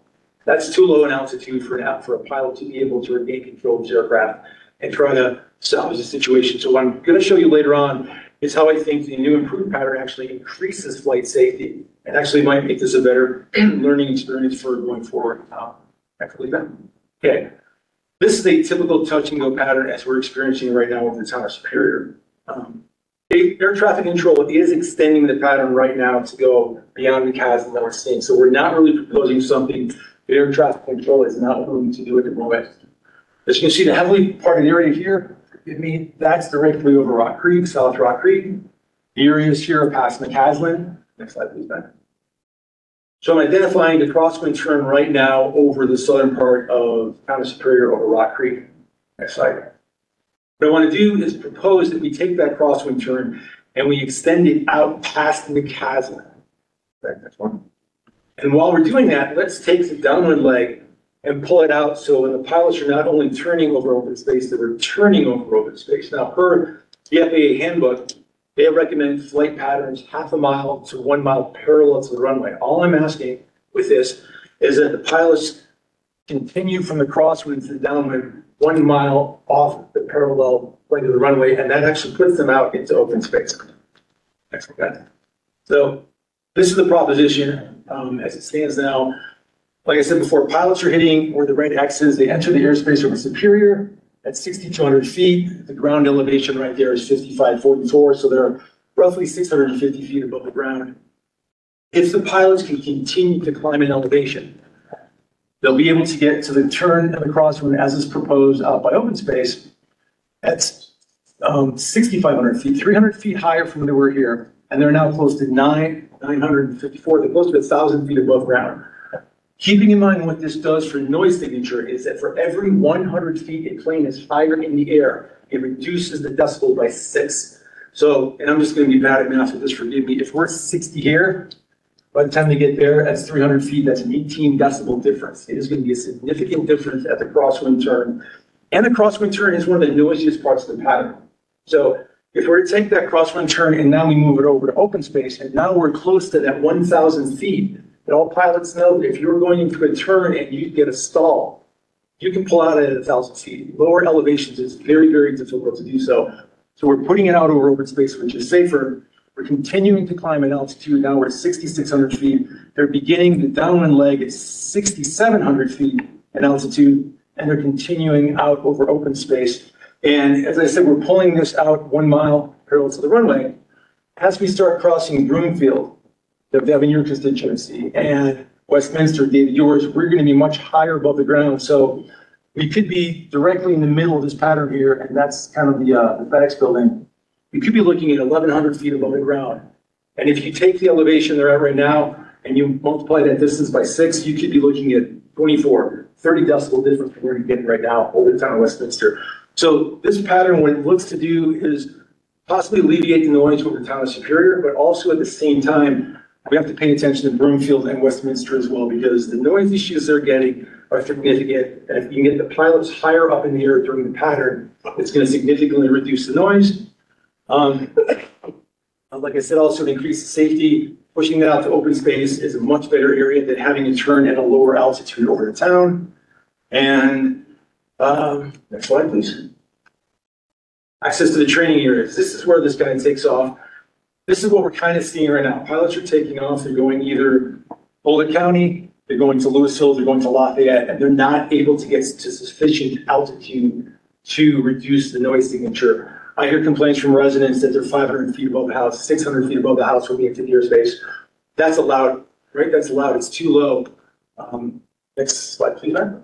So what I'm proposing is if the pilots, and I, I have talked to a number of pilots and a number of flight schools about this, and while they, you know, not crazy about it, they're thinking this could work and this is something they'd be willing to give a shot. So you take off on the upwind leg, you turn over open space, and you continue to gain elevation as you're going through the pattern. You radio to air traffic control on your base leg that you'd like to take a northern heading to training areas. And now you're fifty-four hundred ground elevation at the middle of the turn, you're at sixty-seven hundred altitude, you're already above a thousand feet. And now as you continue to go over Louisville right here at this level, you're at sixty-seven hundred feet in altitude, ground is fifty-four beneath you. As you head closer to Boulder County, sixty-seven hundred altitude, fifty-four seventy-five ground. You're able to get a much higher separation from the ground, thus for every one, like I said, for every one hundred feet, we're talking a one, two, three, four, five, six hundred feet difference from what they're experiencing right now. That could be a significant number, as low as twelve decibels, as high as being 30, 36 as they go forward. Um, next slide, please. And there's also an opportunity to utilize this pattern to go to the southern training areas as well. It allow the pilots to also utilize a crosswind turn outside the town of Superior, gain altitude, continuing gaining altitude, and then fly over open space down by Jefferson County. And I realize there is no northern, or excuse there is no southern training area yet. This is an opportunity for CNR to maybe develop an area uh, in discussions with pilots of where we can send the pilots to southern training areas. But at least it gives them some sense of an access to that in the future. Jason, tell me about Green Knolls Any points? on the east side. No, down, down, down, down, down. What changes there? Or you? Anything changes there? Yeah, um, actually, if you, Significant Let's back- changes there. back up a couple slides, no, I'm sorry. So Ashley knows what changes are there. Do you want Well, Ashley to if- answer that? Actually, let me answer and then Ashley can correct me if I'm wrong. Um, what we're looking at now is if we're at a higher altitude as we're going over the areas in West, in Westminster here, the pilots are able to throttle back at a higher altitude and reduce the revs of the engine, and they can basically coast down in a pattern that's much, much quieter because they're also higher up. They can start gliding down in the base turn and then come in for the landing, or if they're gonna decide to do a touch and go, they'll touch down, and then they'll accelerate, and then they'll take back off again for another light. My house is on Zephyr. What is, what's the changes on my house? Sorry, My house, my, not real, my house is not really there, but I'm just pretending. So say my house is on Zephyr, what? If you're right here, Yeah. Um, you're at higher elevation. we're, we're getting you maybe 100, 200 feet higher than you are right now. And let's just say, I'm like, I mean, I'm an architect, I'm good at fractions, that doesn't necessarily mean I'm good at math. But, um, if you're, if you're gaining uh, 200 feet, that's 12 decibel difference than what you're getting right now. So if you're, if you're hearing it at like, bad math, so let's say you So hit it you're at higher, 72. what you're you're at, at a higher altitude. You're at a higher altitude, so it's gonna be quieter. So if you're at 72 decibels, it'll be 60 decibels. Let me just be clear, I'm asking for someone here in the audience. That's not where my house is. You're testing, I get it, okay? But Jason, if you move, you're, you've moved the whole operation wider in this picture, correct? Correct, Like you're farther to the south, so you're farther into the neighborhood. So like where fewer residents were impacted in that Green Knolls area, this is not mine. I- I'm trying, I try not to weigh in in your areas, but you asked. So this moves the pattern further into the neighborhood. Yeah. So but- more residents are impacted in the Green Knolls neighborhood by this pattern. at a higher altitude, but the FAA does allow one mile to be out from that, so that's within FAA regulations. So, yeah, I'm just answering the question she asked. How does this affect Green Knolls? More people are affected. Can we finish the presentation before we Okay, have more sorry, sorry, questions? sorry. No, That's all right. Yeah, okay, um, This, I know there's So some this is people that less- are wondering. Then you have, you had one other thing. to say. yeah, I have the, um, the uh, supplemental information regarding the planes, if you want to click on that. Um, hold it here for a second and I'll talk about this. There's been a lot of talk with this pattern, just because, Right. with lengthening the pattern, a lot of people are really concerned about number of planes being put in there, right? We're seeing a lot of planes up in the air right now. So I thought maybe to, to just try to figure this out, I'll take a, I'll take a concern from a couple of residents and I'll study the problem and I'll pick every single plane out and try to figure out exactly what the planes are doing in the air, how many are in the air, and what we can look at going forward. So Ben, if you look at the first one. So this was a map that was sent to us, and it was actually sent to the board as well. Uh, the individual sent link, sent this in, said that there were fifteen planes in the pattern over his house. Oh, yeah. And there are a lot of planes up in the air right now, but for the sake of this argument, we're talking about the pattern for the touch and go. I went through and I separated every single plane out from its pattern on its own fly time for the exact number of, um, touch and goes it did and figured out its flight path. And I also interpreted based on the fact of what other planes are going to do. For example, if a plane's in a flight pattern and a jet is coming in, how does that affect that pattern? Does he have to move? Does he have to hold the pattern? Does he have to cross one early, cross one late? It's essentially taking up, um, pushing the majority of planes out towards open space. And what I found about this pattern, the complaint was fifteen are in the pattern. Okay, Next slide, please. I found eight planes in the pattern. Eight planes at this one time flying in the pattern. And the number I'm hearing, I'm studying this, guys. I'm tearing these things apart to try to figure out where we go from this and where we're seeing. I'm always hearing from people eight planes. How many planes do we have? They'd like to see eight planes. They'd like to max at eight planes. And is eight enough? Is eight too much? Is eight the right number? Air traffic control will not give me an exact number on this because air traffic control has to make that determination of how many planes are in the air. They ultimately rule the skies. During the day, air traffic control and the towers open from six AM until ten o'clock. They make the determination of what goes on. So with this one, and this took double vetting it, talking to a professional that has had experience with air traffic control, um, found the same number I did. This is taking, I mean, this is a good part of the day just to do this one pattern for a few hours of flight time in the air. It was determined that they were eight. Okay, next one, please. Same one with this one. This was a gen- an individual on social media posted twelve planes in the pattern. I thought, well, let me take a stab at this one too. It's twelve, it's less than fifteen, maybe it'll take me less time. It took me pretty much the same amount of time to do it. But what you can find out is which planes are utilizing the pattern, which planes aren't in the pattern, which planes are utilizing takeoffs and landings in a different area, which planes are the appropriate planes in there, which are turboprops, props. You can see like this one over here, that's definitely not gonna land here. There's, you know, it's a big seven forty-seven, they're probably heading to Vegas or whatever. More environments than today anyway, but, uh, I'm seeing it so far, so, you know, what I'd like to do is just far as an information gathering, this isn't enough data, right? Two, two maps on this saying we've only got eight, we'll only have eight, are we gonna have eight? There's a lot more study on something like this that is going to be done going forward.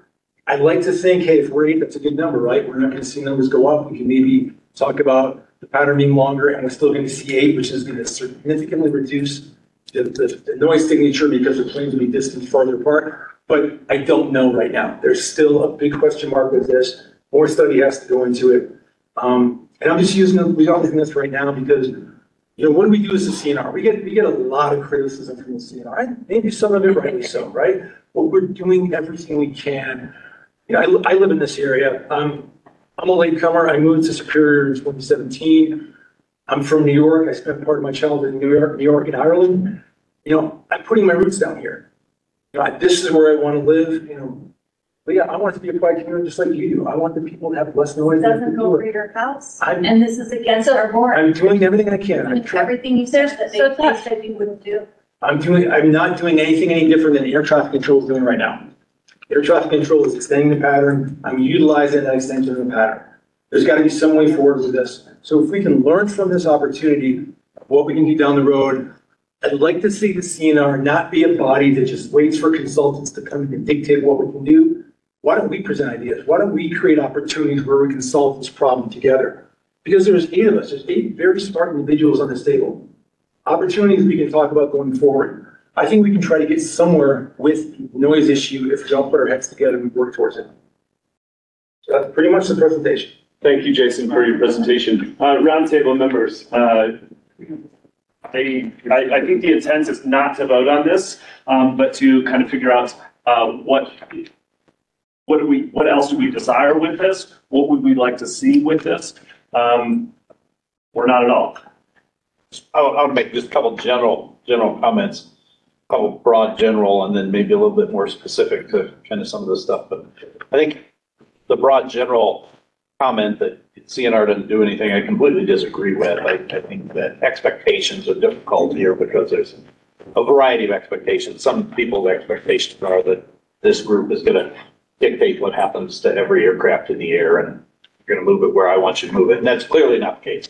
Um, so I, I, I disagree with that, and I, but I do agree that we should be looking at things like this. I think we need to have every option on the table. The specifics of, of this, I don't know if this is the right answer or not. Um, but I think, I think that, you know, engaging in, engaging a conversation in it, I think, um, to me, would be an appropriate thing to do for the CNR to do.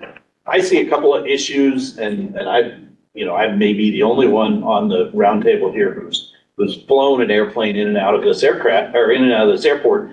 So there's a couple of things that would be somewhat unconventional about it, both from a pilot's perspective. Um, you know, I think air traffic control is in control of these things within this airspace. So it's not a, uh, you know, as a pilot, you, you follow what air traffic control. So I think what they have to say is probably more important than what pilots have to say. But I think pilots need to weigh in on some perspective like this. Taking off the pilot thing though, and talking about from a, a, a elected official or, or community noise roundtable member, um, I think there's some positive things about it, but there's some negative things about it. Here's, here's a couple of them. So positive, I think, you know, the, the attempts to get low aircraft and low turns off of, of- off of the top of neighborhoods is a really good idea. Um, you know, if it goes from one person's house to another person's house, there's gonna be friction there, obviously, but, but I think, I think that's a good idea and a good goal. Um, one of the disadvantages of something like this is if this becomes, you know, the takeoff, fly the pattern, and then exit the pattern from the opposite side, is that you concentrate all the exiting traffic over somewhere where there's not exiting traffic now. Um, and so I think that's a little bit difficult from our, our standpoint of not wanting to, uh, to concentrate traffic. I do understand the part about the aircraft potentially be higher and, but maybe even a lower power setting and, and, and that the noise by the aircraft might be less. But I think those are all things worth, um, investigating. I would say to set expectations with something like this is none of these are silver bullets. You know, there's two runways and two patterns in operation at the same time. And, you know, the, the, um, this fix, fixes kind of one of the four quadrants or maybe makes an improvement to one of the four quadrants in a normal operation of this airport between a pilot on the, or, excuse me, between a pattern on the north runway and a pattern on the south runway. And so I think it's worth talking about, it's worth looking at. But for everybody's expectations, this isn't a solution to noise for at, at all. But again, I think that we had talked about it earlier. Our best approach, I think one of our, our, our public mentioned it in their comment. Our best approach is, you know, small increments wherever we can get them are worth pursuing. Because I think after a couple of years of looking at this, it defies any simple answer that fixes the problem for everybody. So, so my thought on it, be- my rambling thought here on it would be that I think it's worth it for us to have further discussions about this, and I would encourage us as the roundtable to engage with the, the users, the pilots who would, who would be flying this. I would encourage us to engage with air traffic controllers or experts in air traffic control who, who could point out from their perspective what the things are and have further conversations um, about not only this, but, but, but other ideas similar that, that could potentially make some incremental improvements for some people, if not, if if not everybody. Thank you. Any other questions, comments, Miss? Thank you. So, Oh, I'm sorry. oh, go ahead, Ashley. I, I was gonna turn to you first. You and then- can go. Okay, great. I'll go to you first. Um, so after consultation with staff, one of my concerns is apparently, um, the distance of the, I- I'm gonna say the circle is the same at, um, is consistent airport to airport to airport. Yeah. So that pilots don't have to think, oh, I'm at Rocky Mountain and here, you know, we go this much further. Um, and that's what, that's the safety piece, is that, um, what happens in aviation is consistency in whatever you do. So pilots don't have to worry about that. So that's probably my biggest concern.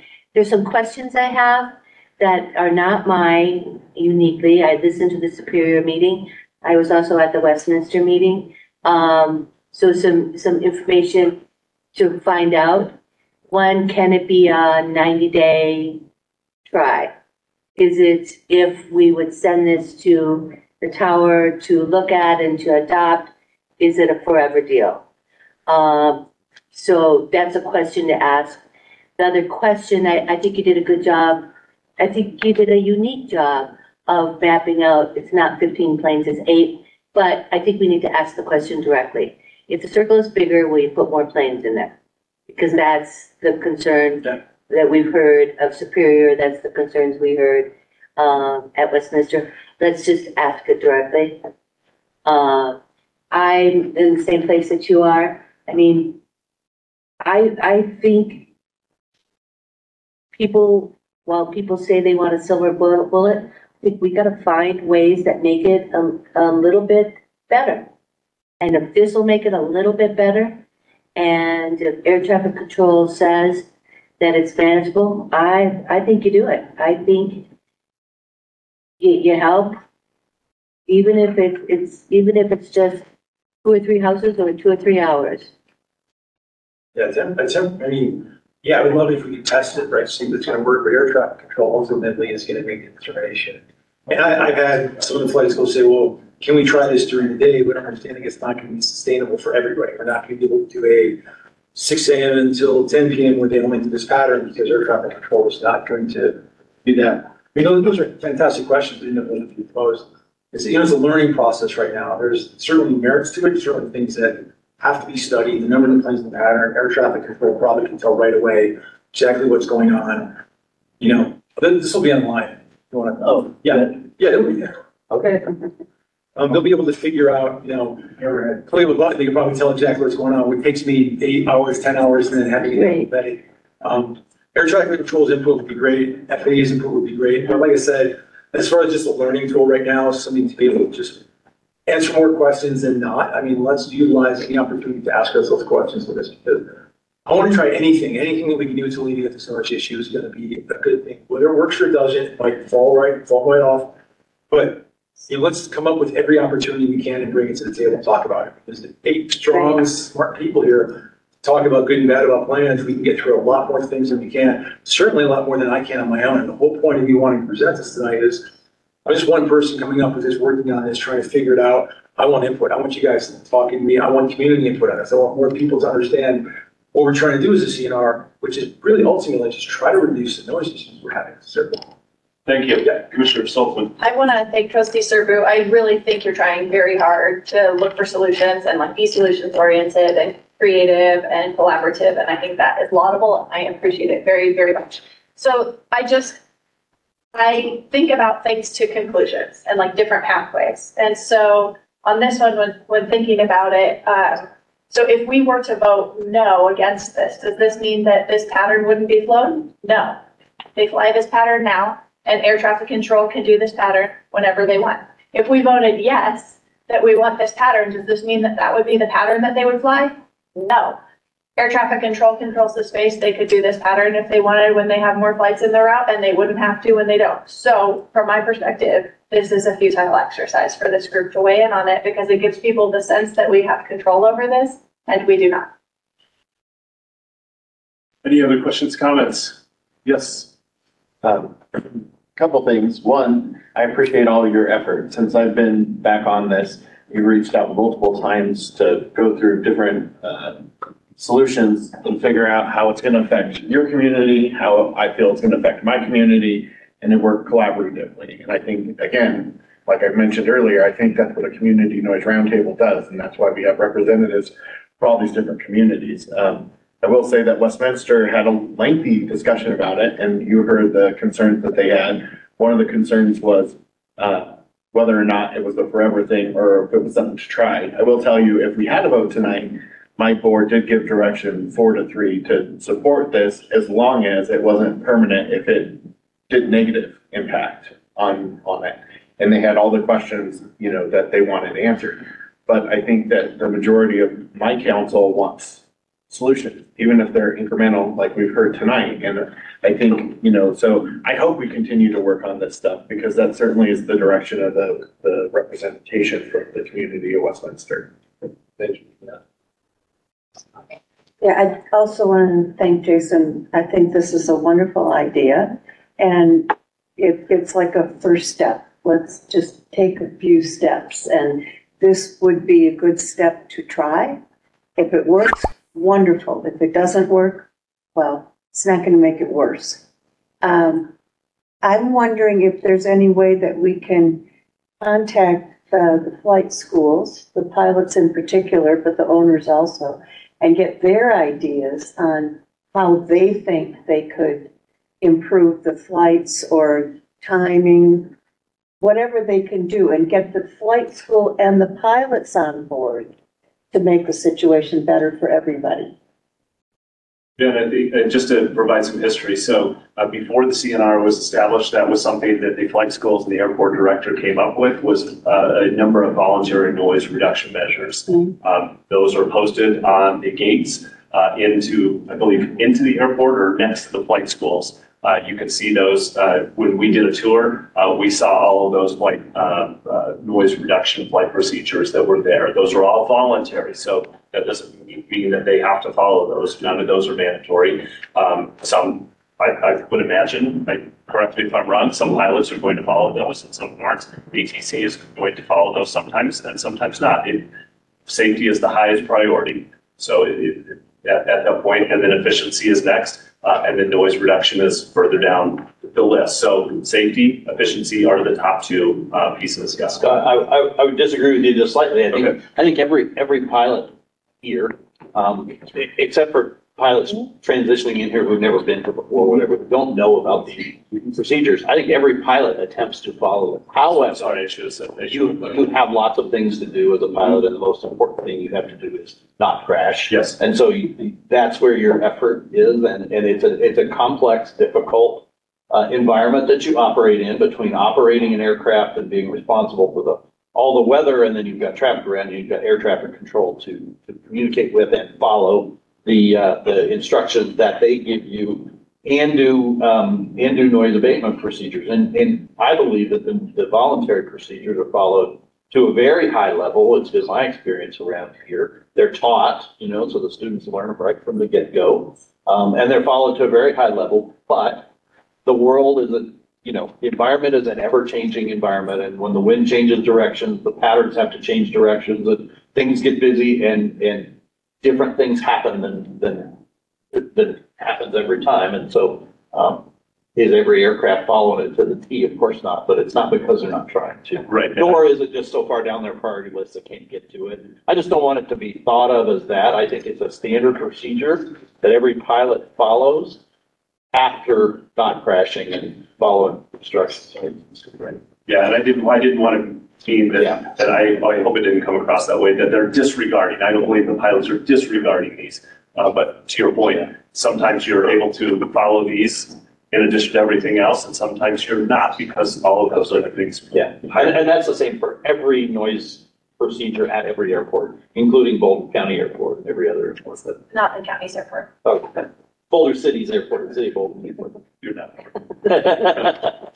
All right. Uh, Any other question, uh, questions, comments uh, on this subject? Uh, As, as we stated, uh, we are not going to vote on this tonight. Uh, The town of Superior has signaled that they are not in support of, of this. And so we are not going to put a vote to this tonight. But this was the uh, Coleman, we had asked for further information. Thank you, uh, trustee for, uh, and member, uh, for uh, bringing forward the additional information on this and all of your work uh, on this topic. Um, Uh, If I can add really quickly. um, Yes. not actually them asking you to call my bluff, but had this gone to a vote, I would vote no on it due, due to, you know, my respect for my board being, um, not in favor of it. But like I said, there's still so many things with this, from variables that need to be studied, need to be looked at. Um, you know, maybe, maybe, you know, you know, there's a story for another time, right? But right now, it's just, uh, it's just not there. And I, and I think that that's a, that, that point, uh, I think that we can put a, a bow on this. Uh, this would be another one of those issues where we need hundred percent, uh, uh, consensus on, uh, because it is shifting noise over different communities in a different way. And so we would need hundred percent consensus on this, and because we do not have the vote of Superior, uh, it, we I, I think that Jason is, is choosing not to, uh, put forward a motion. Do not see any other motions being put forward at this point. We have the information that it is. Uh, so thank you, uh, again. Um, the last, uh, piece of our agenda is the committee and board member reports. Uh, at this point, we do not have any committee, so it is really board member reports. Uh, I would like to make sure that we tee up the conversation, uh, that was started, prior, in, in the, in the meeting.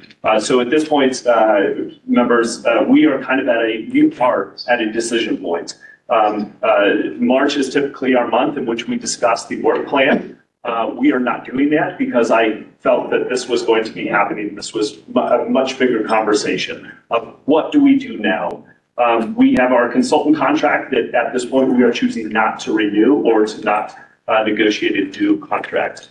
Um, myself and Commissioner Kraft Tharp, we had a meeting, uh, with, uh, the FAA. We talked about the structure of the, the CNR. We talked about what other possibilities are there to impact, uh, the noise. Um, and, uh, really, we have the CNR pathway. We have a pathway to continue, uh, dialogue with our congressional representatives to ensure that, uh, changes are made at that level. This is a federal issue. This isn't a local issue. Um, we, uh, we've talked a lot about trust, right, and rebuilding that trust. We had an airport director that, uh, was, uh, stated as undermining the work of the, uh, of the CNR, um, quoted as wasting time and wasting resources of the local governments, right? So that trust has to be built up not only with the member jurisdictions in the airport, but also amongst our members as well. Um, we have, we, uh, you know, potentially have a, a point in time to either restart or pause our CNR at this point. Uh, we just went through a lengthy process with our VFR routes, and ultimately, we are not continuing with that. Um, and so what does that, what does that mean? What is that pathway for us? Um, and, uh, you know, one more piece to, to, to put out there, uh, John Bauer, um, he has been asked to, uh, do some other special projects, so he will not, he will not be attending our meetings. Uh, most likely as frequently, but potentially, uh, not in the foreseeable future because he is dealing with these special projects as opposed to, uh, our CNR meetings. It's just for the new members as the FAA rep that had been attending. Thank you. Um, so I think that, you know, the, the question that was asked earlier is how do we continue the conversations on this? And that's not just particular topics, but really the CNR in general. How do we continue forward? Do we continue forward? I would ask that we don't make that decision tonight, but I do believe that if we want to have conversation tonight, that we do. Uh, but I believe that we all need to go back to our, uh, jurisdictions and have that conversation with our jurisdictions to say, how would we like to continue to participate? Do we continue to participate? Is this the right forum?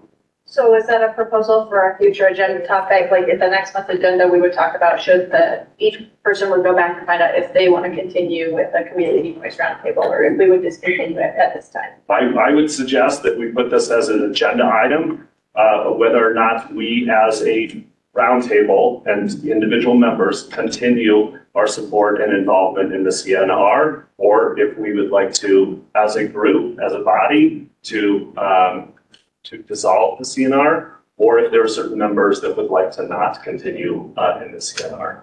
So I think that, yes, I would suggest that we put that on a future agenda to make a, to make a vote on and, and to actually publicly notice this. But I think as we've gone through the meeting, I think it's important that we at least, uh, potentially tee up that conversation. Yes, What happens if, if this body dissolves, what happens with the, Thank you for asking that. That's, I, I was under the Yeah. understanding. we have a without decision on this, it- Tuesday. It, it goes away. so thank you. Right. Lots of airports do Part one fifties without voice roundtables.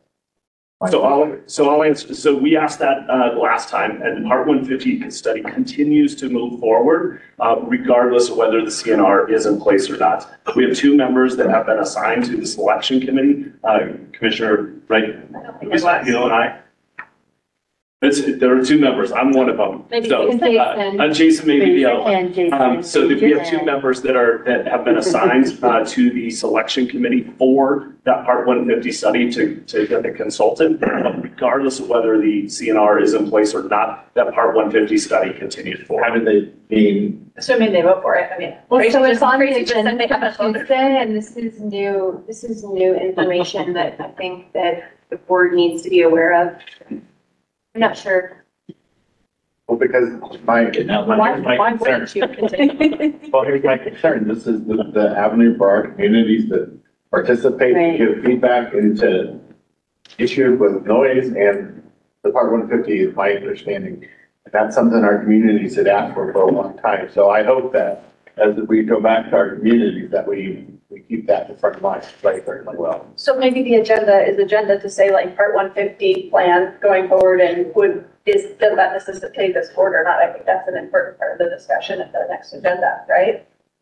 I think the other thing that I would like to propose uh, that needs to be part of the conversation is we've heard from people that they may, that they file a complaint and they don't hear anything back. Where, this is people's, well, people are saying that they want decision-making and they want more, they're gonna get less. Where is the avenue to be able to express your concerns? Number one, where is the avenue for impacted communities to have a seat at the table?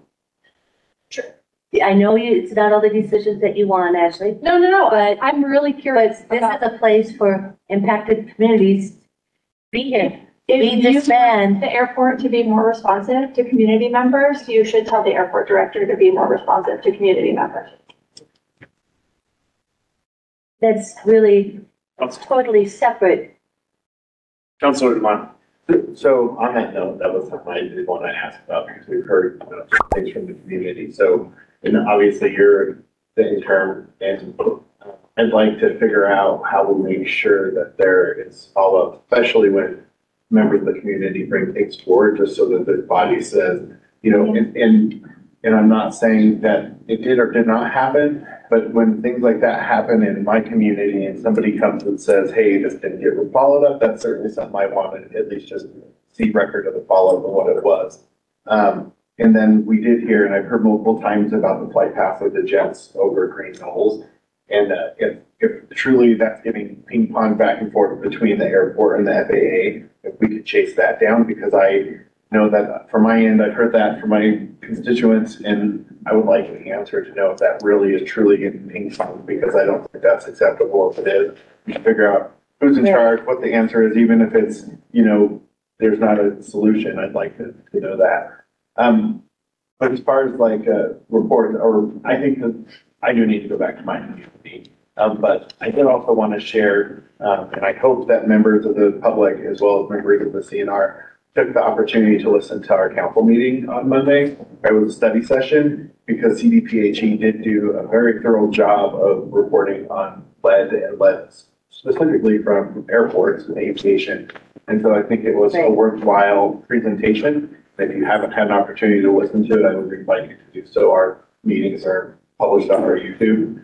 You can go to citywestminster.us and find that. Uh, And so if they happen to be listening to this, because they don't have anything better to do, thank, I thank them for uh, joining us because it was a very good presentation. And it's something that, you know, the community is obviously concerned about, that crosses over into this block. I know that it's separate than noise, um, but, you know, it's, it's an important topic that I do think needs to be addressed. So And, and thank you and, and the Westminster City Council for hosting that conversation very well. Uh, any other board member reports or comments on this discussion? But it sounds like that we all have some conversations to do with our own jurisdictions. And, uh, and it sounds like that we will be bringing this back for an official agenda item at our next meeting. Any other board, uh, board member reports at this point? Yes. Yeah, I've got, uh, one, um, I met with, uh, ADK, who's doing the search for the new airport director last Tuesday, and, um,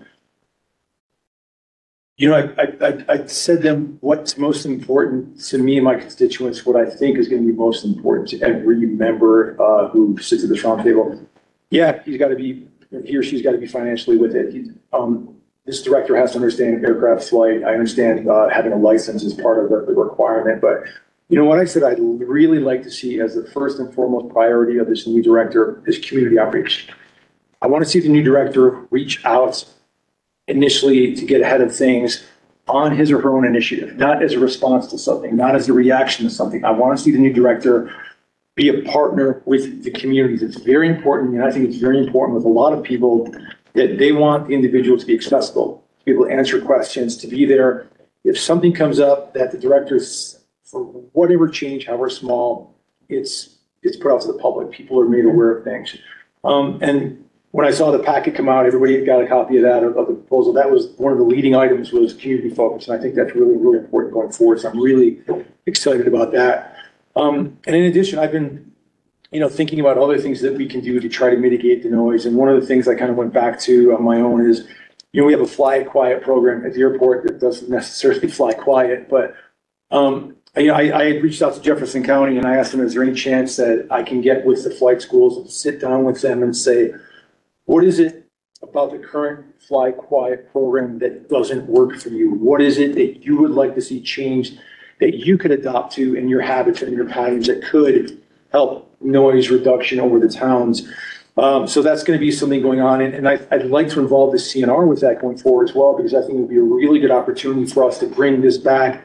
The previous CNR, was it a previous CNR that created It's that? only been one. Just we want- Well, no, the, Oh, the, please the, us. no, no, the, uh, the, the noise abatement stuff was a task force. Task force, okay, yeah. Airport task force that consult, consisted of a variety of constituencies in, in and around. Good. Yeah, John, thank you for the, for clarification on that. So I really like that as an opportunity for the CNR. So, you know, things when we talk about going forward as the CNR, there's other opportunities that we can try to think together and maybe with the flight schools and maybe with a new fly quiet program that we could talk about. Um, and I think that would be really important to, to, you know, the members of all the constituencies because they just want to feel heard. They want to feel being part of the process. So anything we do going forward, you know, I, I'd like to give it a shot. So that's, uh, pretty much all I have for board report.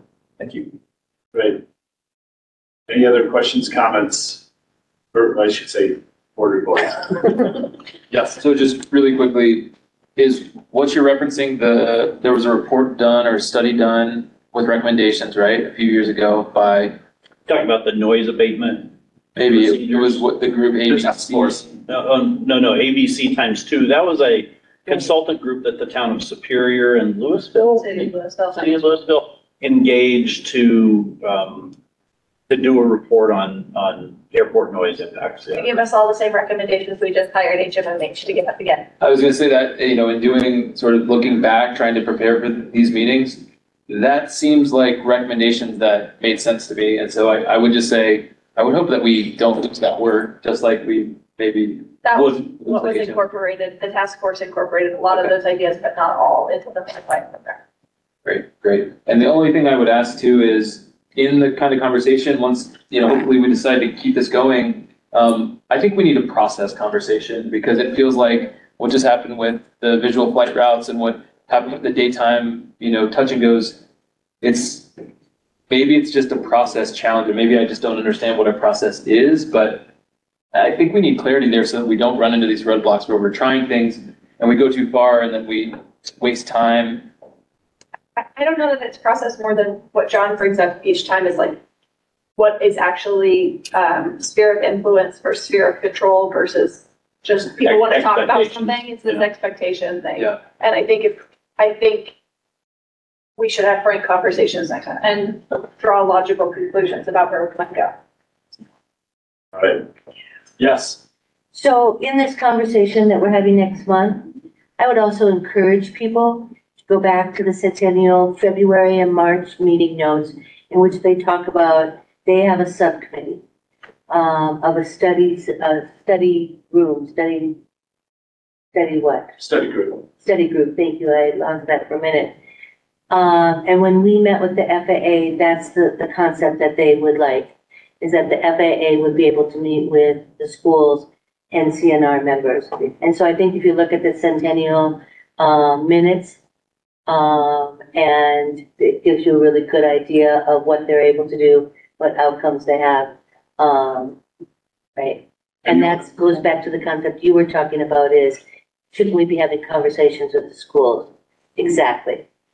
Yes, and having conversations upfront about different ideas. Yeah. And thank you for that. And we, we've discussed this before. That was, that was just a suggestion that came up. Uh, we, we, at this point with our IGA, we, all of our subcommittees have to be open to the public. Um, so a study group, um, would be very challenging for, uh, our CNR to adapt with our IGA.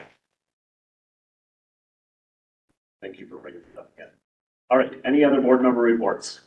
All right, seeing none, uh, tonight's, uh, RMMA CNR meeting is adjourned. Thank you, Ben. Thank you, roundtable members. Do you want me to answer this question?